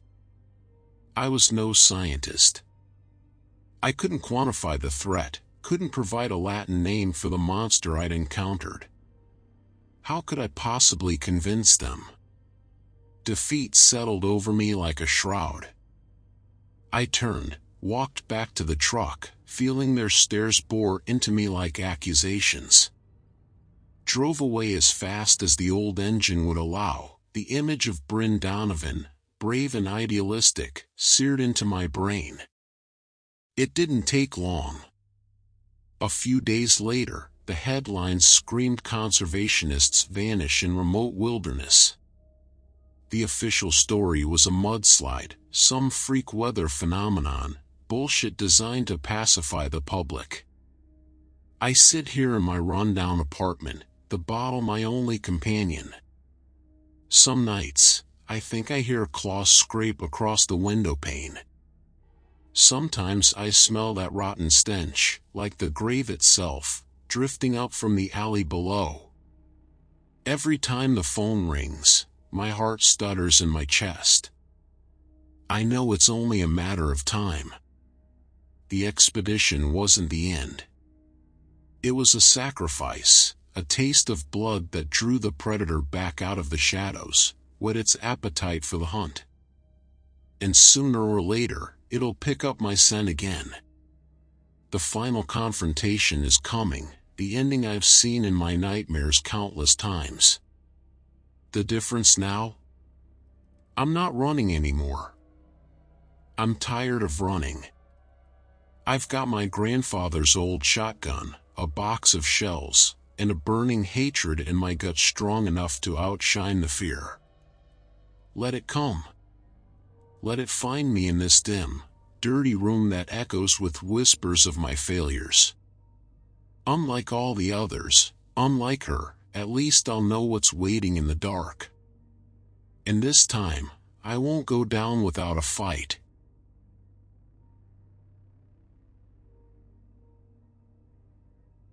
This happened to me on October 6, 2002. Maine remote cabin up north, only a few miles from the Canadian border.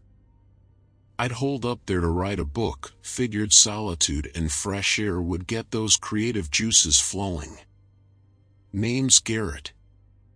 Guess that plan didn't quite work out. First month or so was fine. Hiked, chopped firewood, rode a bit. The woods up there are dense, the kind that make you feel small, remind you of just how much wildness still exists. Then, the weirdness started.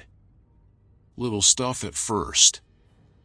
A sense of being watched, rustling in the undergrowth when nothing was there. One evening, I swore I saw a flicker of something massive moving between the trees. Figured it was a moose, just my eyes playing tricks. Should have left then.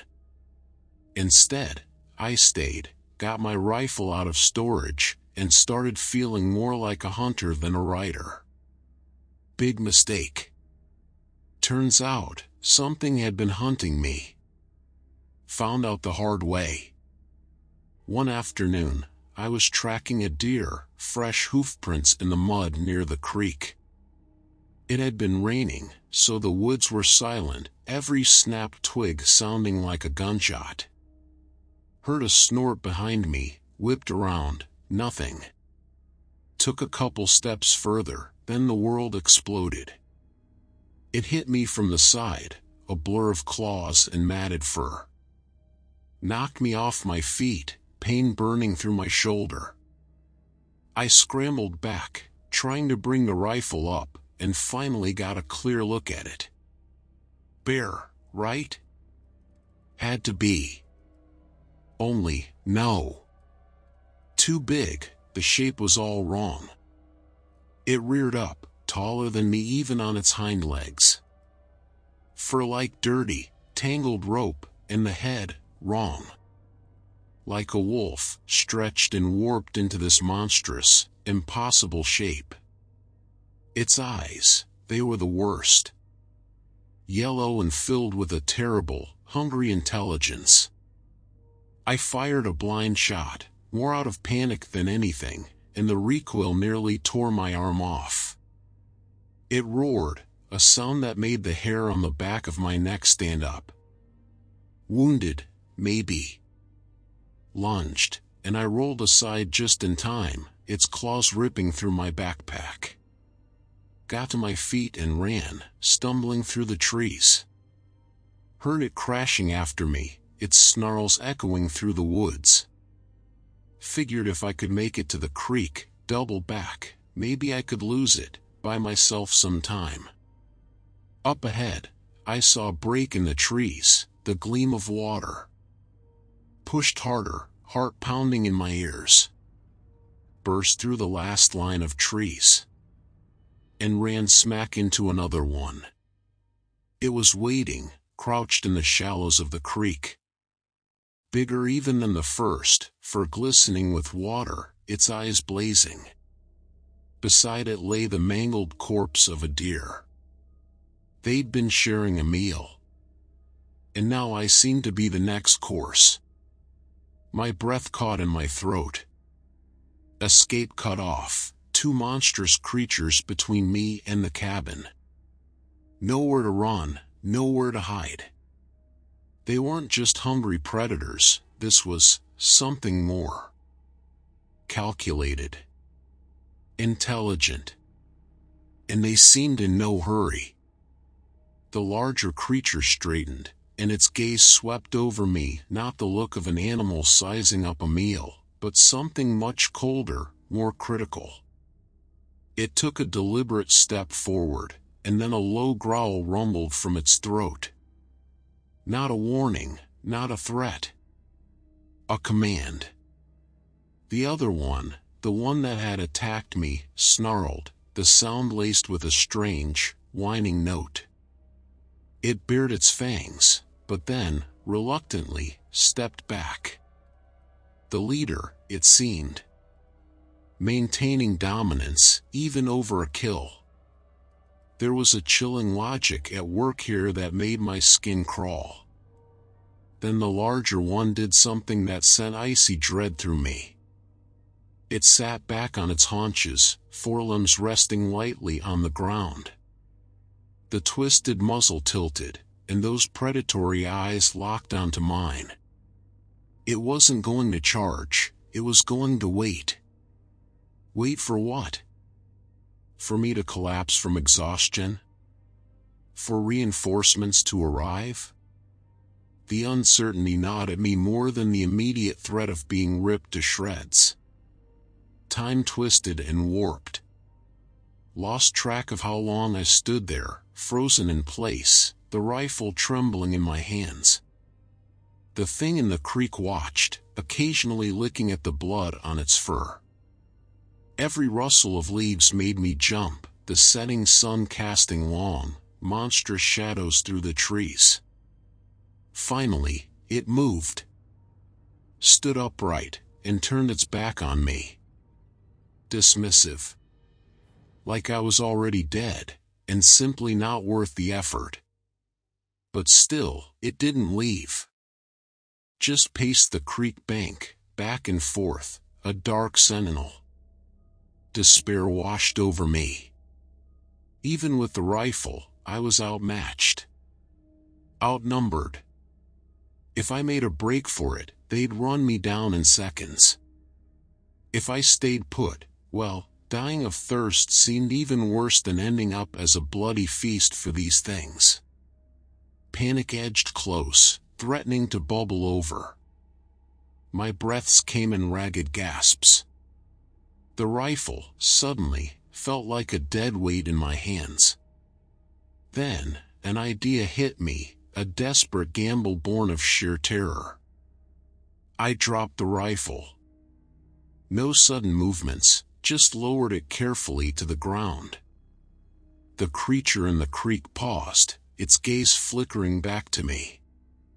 Cautiously, I unshouldered my backpack, letting it drop as well. It watched, then resumed its pacing at the creek's edge. A test? A sign of submission? Had no way of knowing what went on in that monstrous head. Step by painstaking step, I backed away. Never broke eye contact. Finally, I was back within the tree treeline, the shadows swallowing me up. It still hadn't moved. I turned and fled. No looking back, just ran blindly, lungs burning, branches whipping at my face. Stumbled. Fell. Scrambled up kept running. Tripped over a root, tumbled. Head first down a slope. By sheer luck, I landed in a shallow ravine, choked with brambles. Lay there, gasping in the wet leaves, expecting to hear the pounding of paws closing in for the final attack. But, there was only silence an oppressive quiet broken only by my own harsh breathing and the echo of my heartbeat thudding in my ears. Hours later, when I finally had the nerve to crawl out of the ravine, night had fallen. I made it back to the cabin under the cover of darkness, barricaded myself in. Didn't sleep a wink. Couldn't shake the feeling that those yellow eyes were still watching from the darkness. Next morning, I packed my things and drove away as fast as I could. Never went back. Never even looked over my shoulder. The whole thing got written off as a bear attack. Lucky to survive, folks said. They had no clue, lucky doesn't even begin to cover it. Sometimes, I wish it had been a bear. Simple brutal. Nature running its course. Instead, I'm left with this unshakable knowledge that there are things in the wild that defy understanding. Creatures driven by an intelligence both cruel and cunning, and with appetites that go far beyond simple hunger. Every creak of the floorboards in this city apartment reminds me of the stillness of those woods. Every rustle of wine through the trees outside the window sends a chill down my spine. Because in the back of my mind, I know those two weren't the only ones. Out there, in the vast untamed places, others lurk, waiting for some unwary soul to trespass on their domain. They learned that day, learned I wasn't a creature of the deep woods, that soft urban prey can sometimes escape their grasp. That means they also learn something else, how to follow, how to adapt, how to evolve their hunting strategy. Maybe one day I'll see a flicker of movement in a dark alley, smell that rotten stink on a crowded subway, or find monstrous clawed footprints outside my apartment door. And when that day comes, it won't be in the wilds of Maine. It'll be here, amidst the concrete and the crowds, where people think they're safe. And the worst part, the thing that twists a knife in my gut, is that this time, no one will believe my story.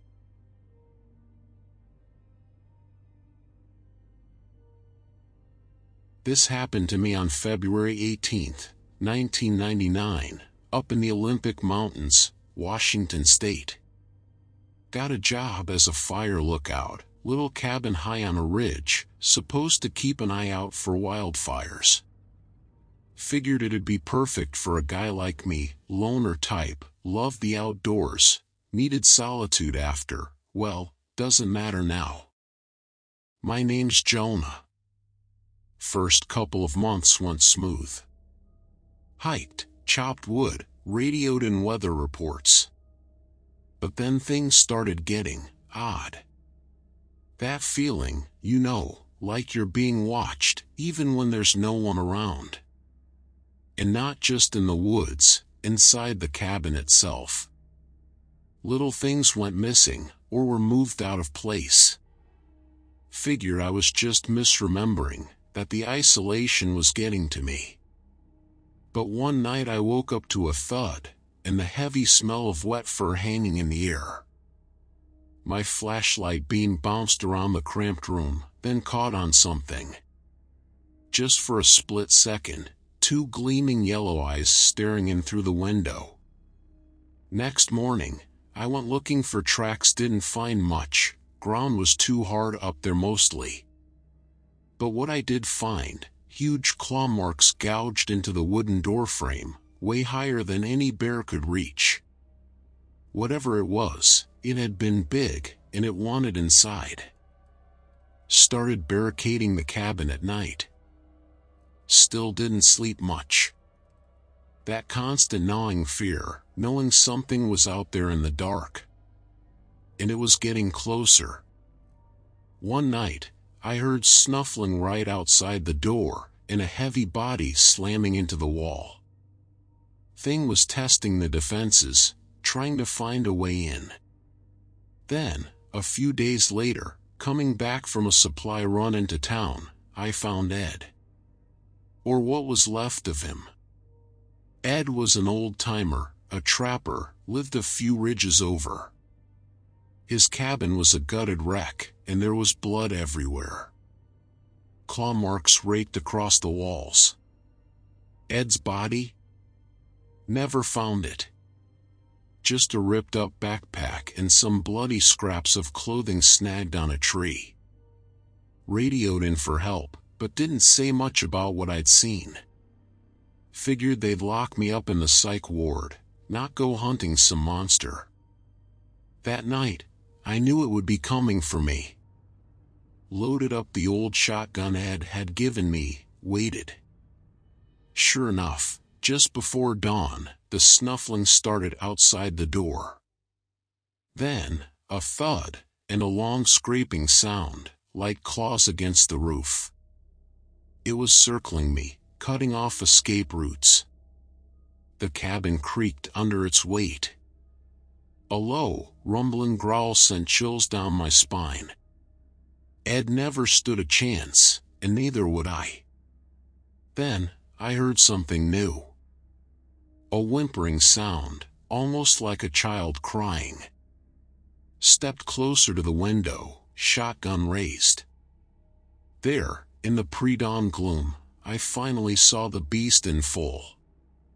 Taller than a man, covered in dark, coarse fur that seemed to ripple in the shadows.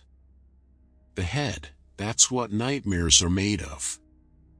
Like a wolf, but pulled and stretched wrong. The eyes burn like embers.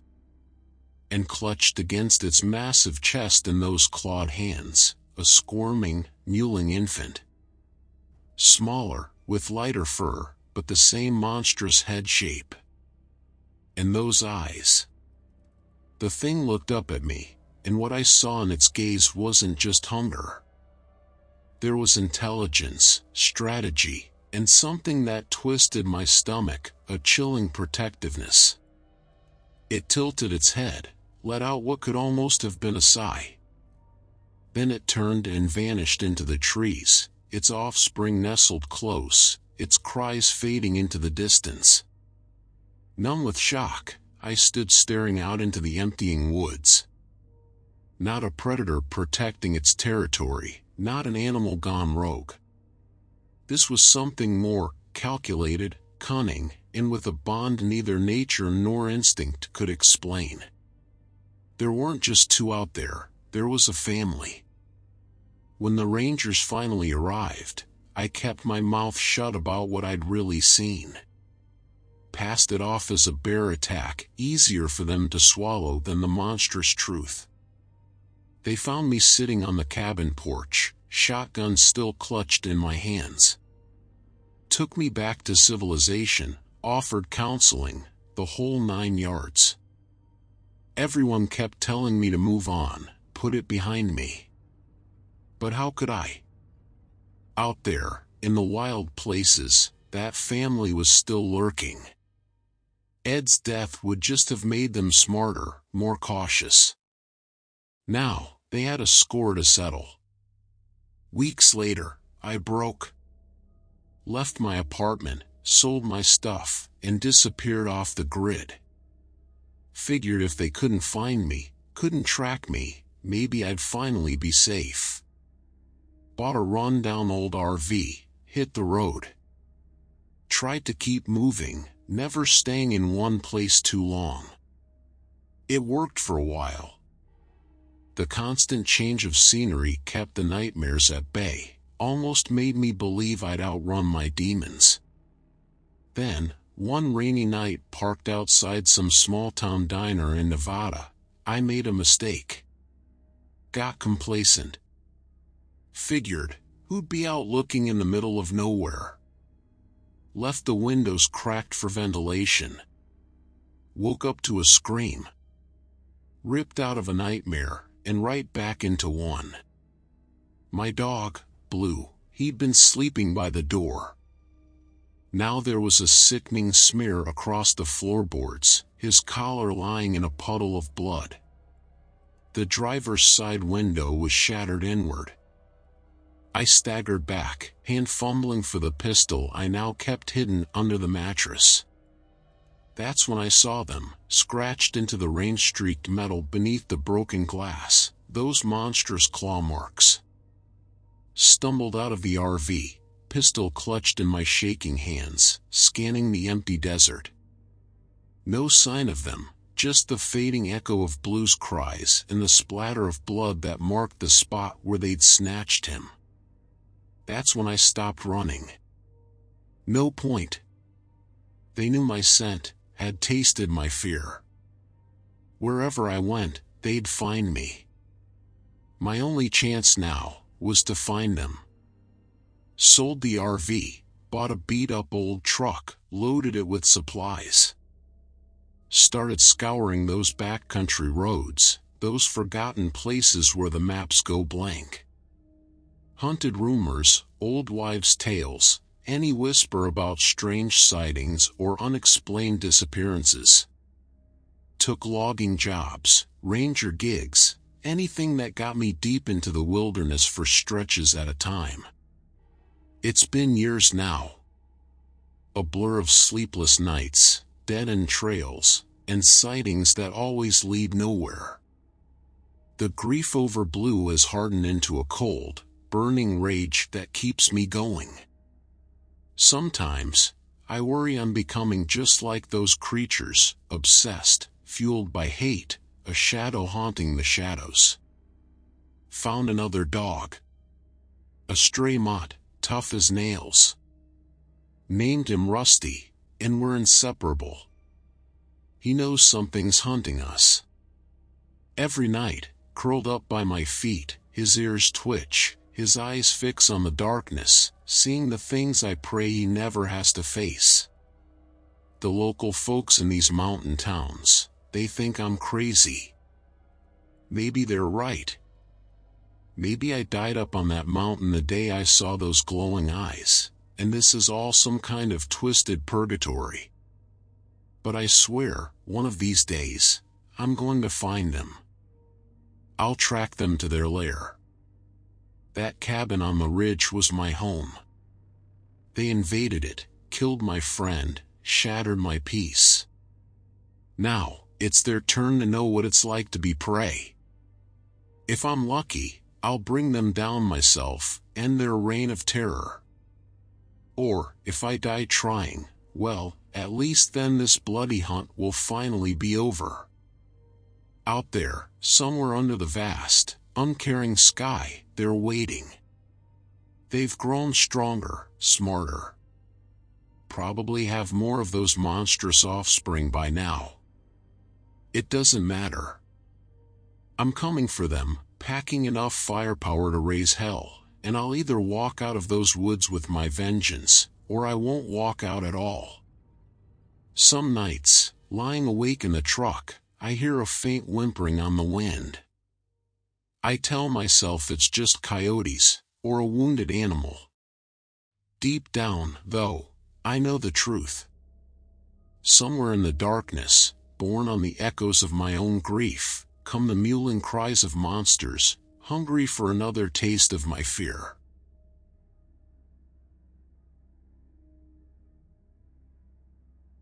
This happened to me on July 25, 1995, up in Alaska. Been working as a fishing guide up there, living in a small town on the coast. Figured I'd earn enough in the summer, spend the winters in a cabin way out in the bush. Solitude, time to think, that's why I craved after leaving the Marines. My name's Wyatt. Those Alaskan woods are something else. Vast, teeming with life, but they hold a silence like nowhere else on earth. Hunted a lot that first season in my spare time, deer, elk, just to fill the freezer. And as I went deeper into the wilderness, I got the feeling, like I wasn't alone. Eyes watching me from the trees, heavy footsteps that stopped when I did, just out of sight. Figured my nerves were getting the better of me. Told myself it was a bear, at most.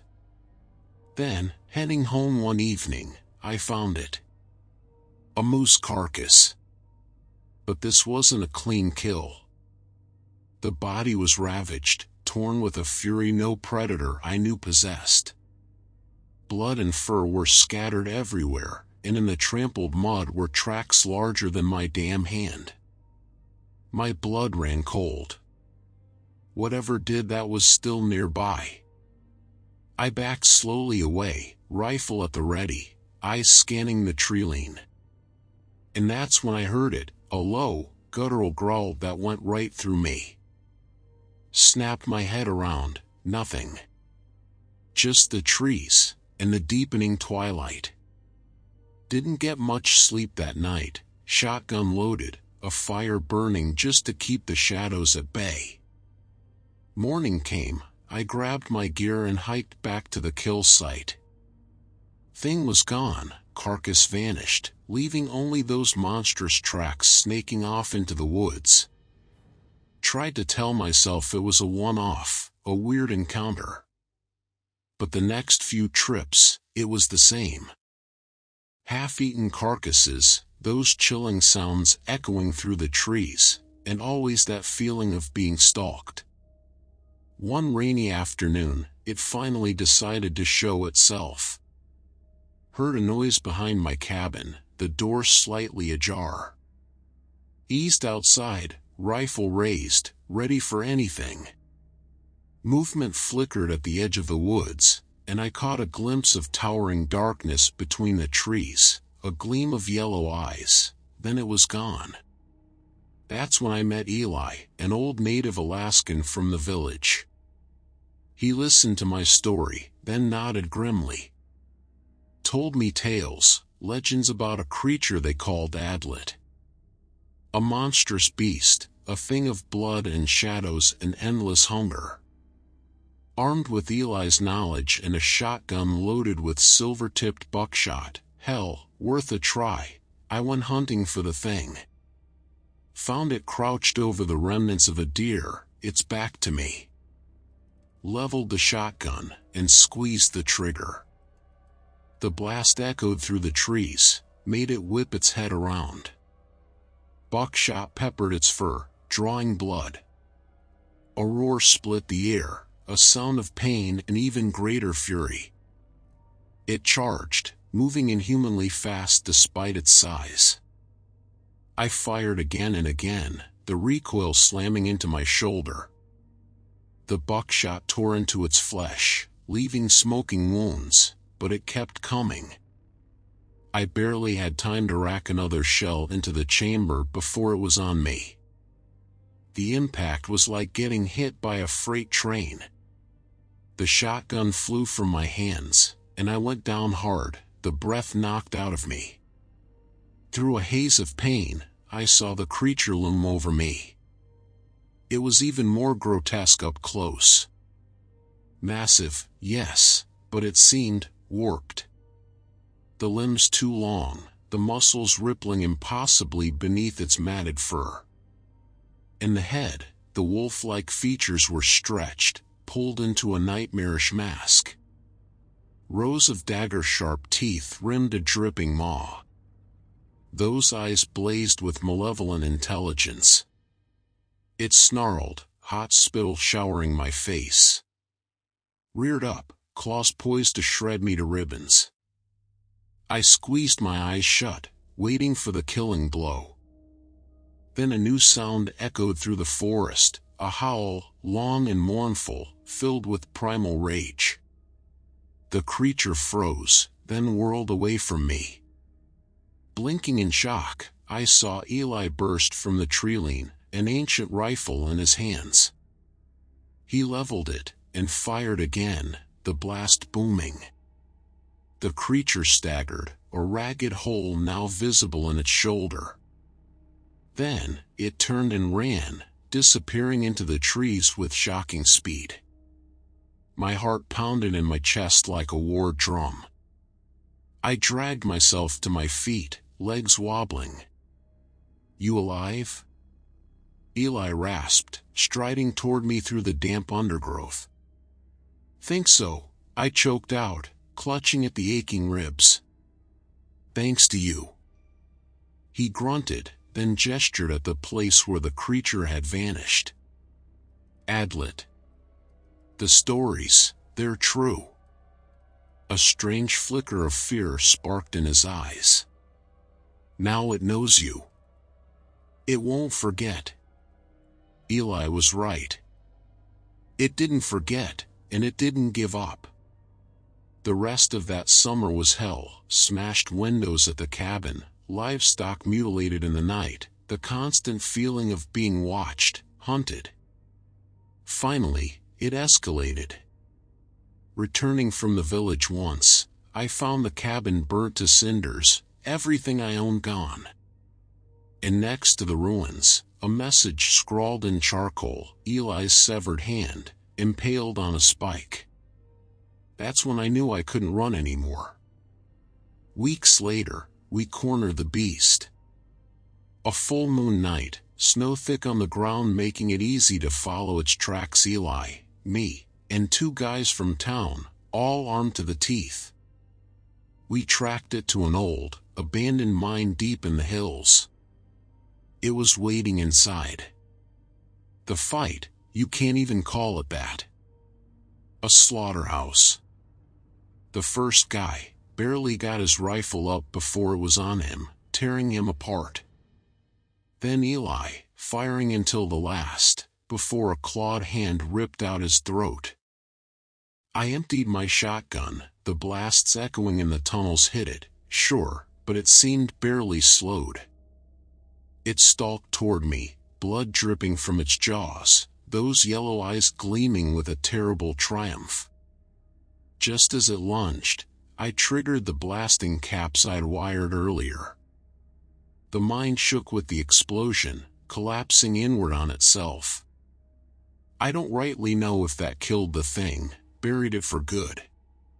Didn't wait around to find out.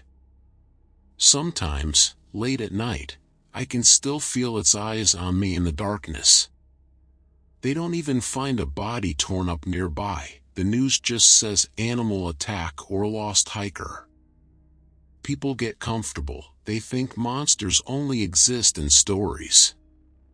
That may be the worst part, the part that eats away at my gut. They're oblivious, going about their lives, while out there in the shadows, things lurk. Things older than the world, driven by hungers we can barely comprehend. Eli was right. You cross paths with a creature like the Adlet, it doesn't forget, doesn't forgive. I'm living proof of that, and every day I wake up wondering if it's finally caught my scent again. The hunt is never really over, see? Not until one of us ends up a bloody pile on the forest floor. Maybe I'm paranoid. Maybe the things moved on, forgotten our little encounter deep in the Alaskan wilds. Maybe, and this is what keeps me up in a cold sweat, maybe it learned something. Maybe it's gotten smarter, more cunning, biding its time in the endless night. Or maybe, just maybe, it's changed tactics entirely. Maybe it's not out there in the dark woods anymore, stalking prey under the moonlight. Maybe it's figured out that the easiest way to find a lonely man isn't in the wilderness, it's in the city.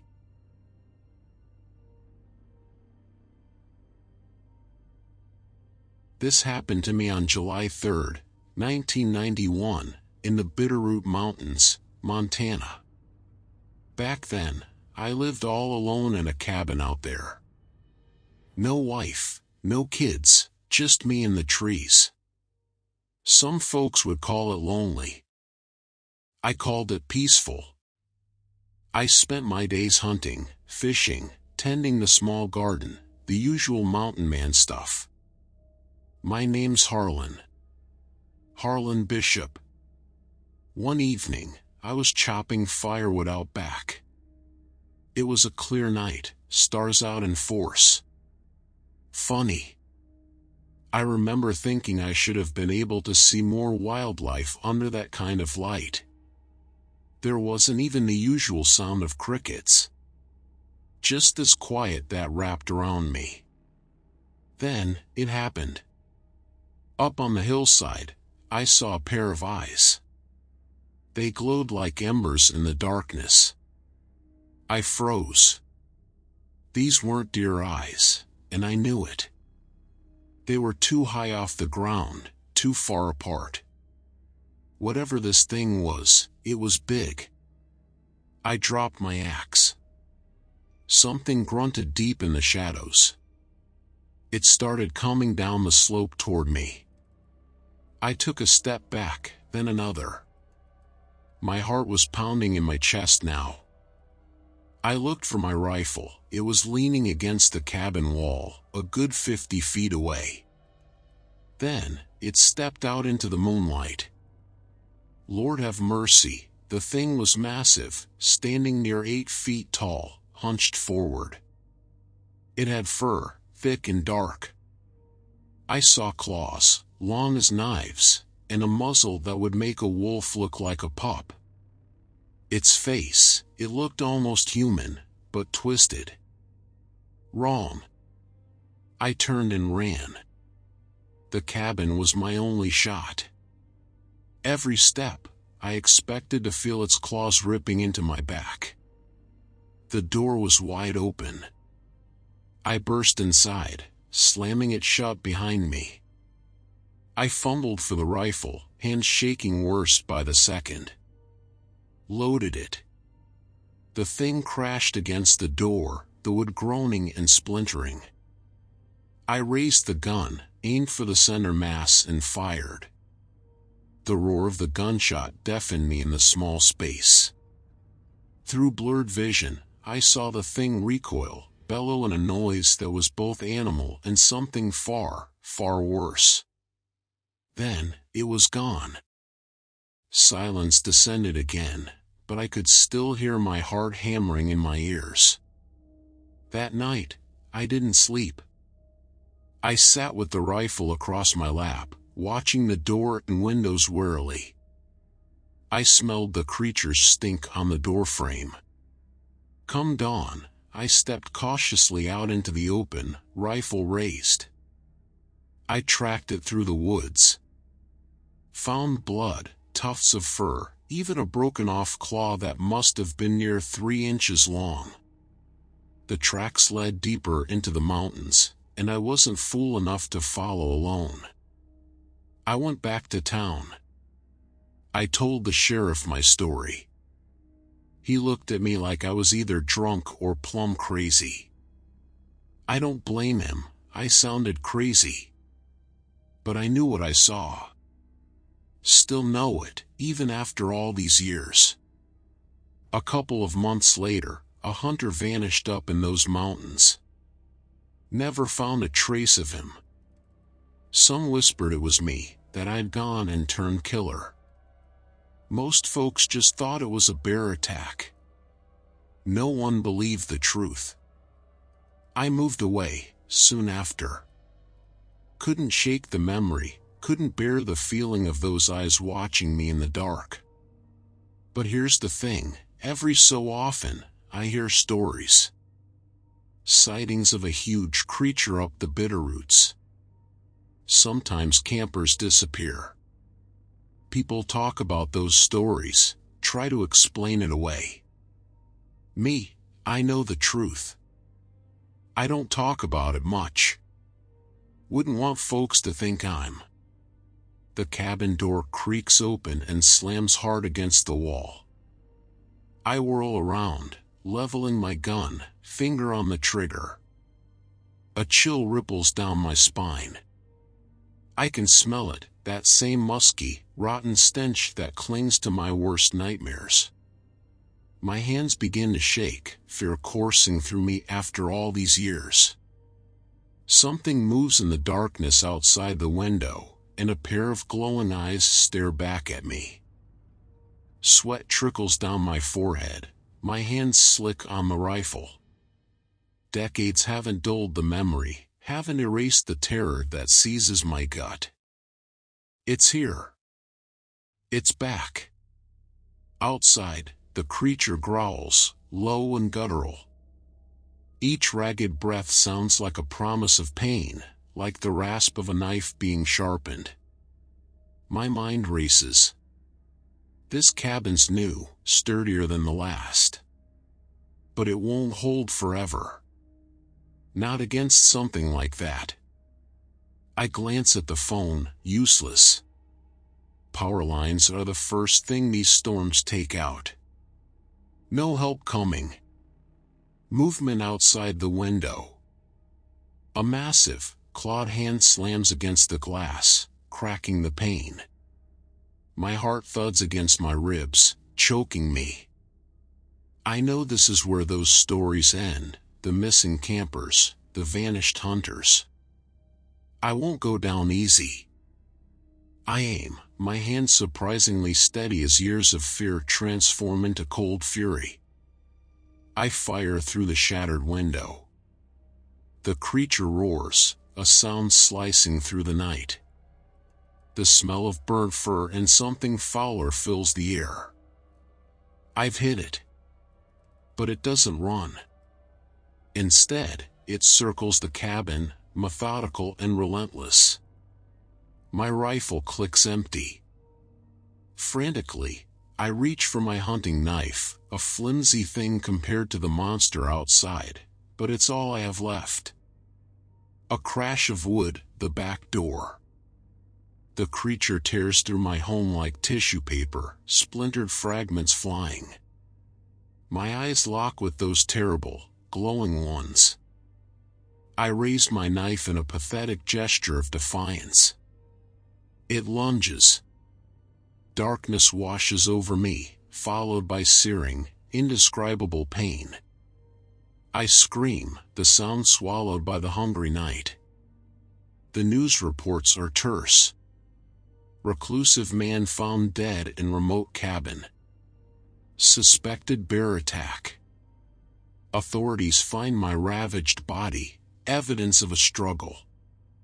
The destroyed cabin is ruled unsafe, condemned. No further investigation. my name becomes just another entry on the list of casualties in the vast wilderness. One deputy, young and still willing to believe, sees the scattered scraps of dark fur, the claw marks far too large for any bear. Finds the odd, almost human footprints around the wreckage. He files his report, and it's silently added to a growing stack of unsolved cases in the Bitterroots. Hikers tell tales late at night, voices hushed. Stories of a monstrous shadow lurking in the trees, of glowing eyes on the ridgeline. Warnings whispered to those who dare to venture too deep into the mountains. The legend grows with each passing year. And somewhere in that dark heart of the Bitterroot wilderness, the creature endures. It bears my scars, tastes the memory of my defiance. It is patient, cunning, fueled by an ancient, insatiable hunger. It waits. In the depths of those woods, the whispers are correct, not all monsters are myths. Some are horrifyingly real, their stories written in blood and the lingering echoes of unanswered screams.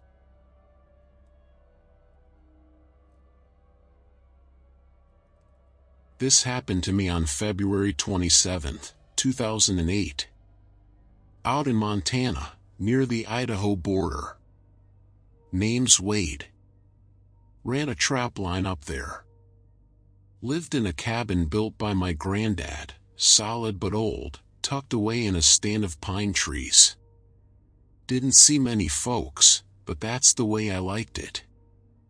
Always reckoned those woods were old, something primal and untouched about them. But most days, the only sound was the wind through the trees. Then, a few weeks back, I started finding things, messed up. Traps sprung, but nothing in them, just first snagged on the branches half-eaten deer carcass, but the kill wasn't clean like a mountain lion's work. And, strangest of all, I kept coming across tracks that sent shivers down my spine, too big for any critter I knew of, clawed all wrong. Started sleeping with my shotgun close at hand. Figured it was nerves playing tricks on me. Then, one night I heard it. Right outside my cabin, heavy, padding footsteps circling in the darkness, accompanied by a low snarl that sounded like it came from the depths of hell. Didn't sleep a wink. Morning came, and I ventured out, rifle ready. Found more of those monstrous tracks leading into the thickest part of the woods. My dog, Buck, a good hound, whined at my feet. Stay close, boy, I muttered, the fur prickling on the back of my neck. Followed the tracks till they vanished into a rocky ravine. Took a deep breath, and headed in.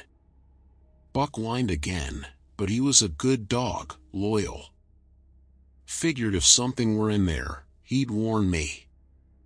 It was dark in the ravine, choked with trees and thick, mossy boulders. My heart hammered in my ears as we made our way deeper. Then, movement flickered across my vision, a big shape, darting between the shadows. I raised the rifle, trying to make out what the hell I was dealing with. Buck, I hissed, but there was no answering bark.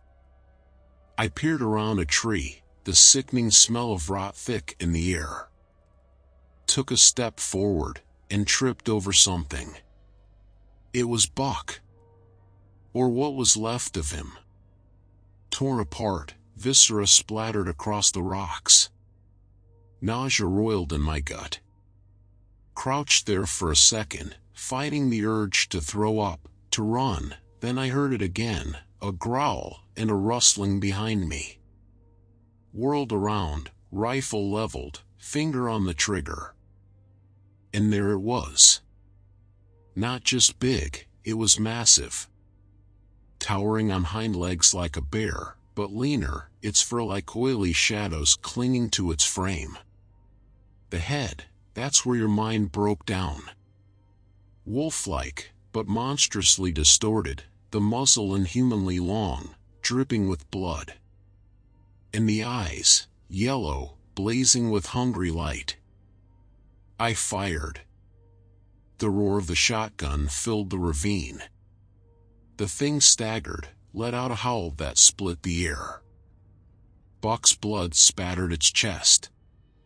Rage twisted those monstrous features. It lunged. I scrambled backwards, fumbling for another shell. The creature landed with a force that shook the ground. I snapped the rifle up, fired again point blank. The blast sent it reeling backwards. I took my chance, turned tail and ran, stumbling over roots and rocks. Heard the enraged creature giving chase, its snarl echoing against the ravine walls. Tripped, sprawling headlong. Scrabbled back up, rifle forgotten. The thing was gaining ground, its breath rasping in horrifying chorus with my own. I could smell its foul stench, feel the heat of its rage wash over me like a wave. Up ahead, a flicker of light. The mouth of the ravine. Lungs burning, legs like jelly, I lunged forward, toward safety, toward sunlight. And slammed headfirst into something solid and unyielding. Not a rock. Fur. My scream got cut short as a giant clawed hand clamped down over my mouth and dragged me backward. I thrashed, clawed at that monstrous arm, but its grip was iron. Pain exploded in my shoulder as I was yanked bodily into the shadows. The creature held me in its monstrous grip, its rancid breath making me gag. Up close, it was even more horrifying. The fangs, glistening in the dim light, each longer than my hand. Those eyes, they held a terrible intelligence, a cruel curiosity, like a cat contemplating a wounded mouse. It tilted its head, then opened its mouth impossibly wide. A scream tore itself loose from my throat as its teeth descended. It took two days for the search party to find what was left of me. Folks figured it was a bear, maybe a rogue grizzly that had wandered down from further north. They were wrong. The claw marks on the few ragged scraps of my clothes weren't made by any bear. No one ever found the cabin. Figure that thing took up residence there. Reckon it's probably still lurking in those woods, hunting anything foolish or unlucky enough to cross its path. The news reports called me a missing hiker, victim of a tragic accident. It makes for a good story, I guess, a clean one, easy to swallow. They spin tales like that to make themselves feel safe, to pretend that there aren't still dark corners of this world where the maps end and the shadows writhe with things best left unseen. Sometimes, I swear I can still hear that snarl in the stillness of the night see those yellow eyes reflecting in the darkness of my room. And deep down, part of me knows it's just a question of time until they finally come for me. That even here, hundreds of miles away surrounded by concrete and cars, I'm still being stalked. The hunt never truly ended.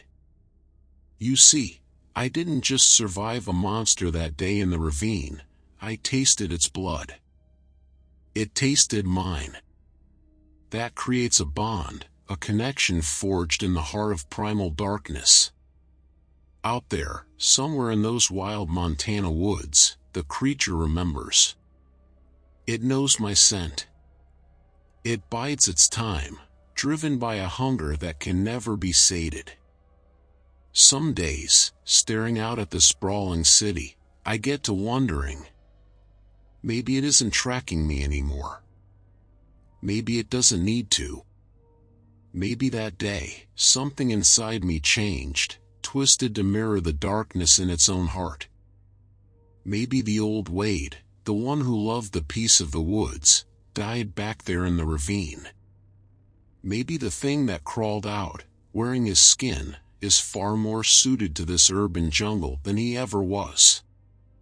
Maybe those whispers I hear late at night aren't the wind, but my own inner voice, rasping with an unfamiliar hunger. Maybe the shadows I see moving at the edge of my vision aren't just tricks of the light. Maybe the predator isn't out there, lurking in the wild places. Maybe it's here, walking unnoticed among the unsuspecting crowds. Maybe it's closer than you think. Maybe, just maybe, it's reading this right now.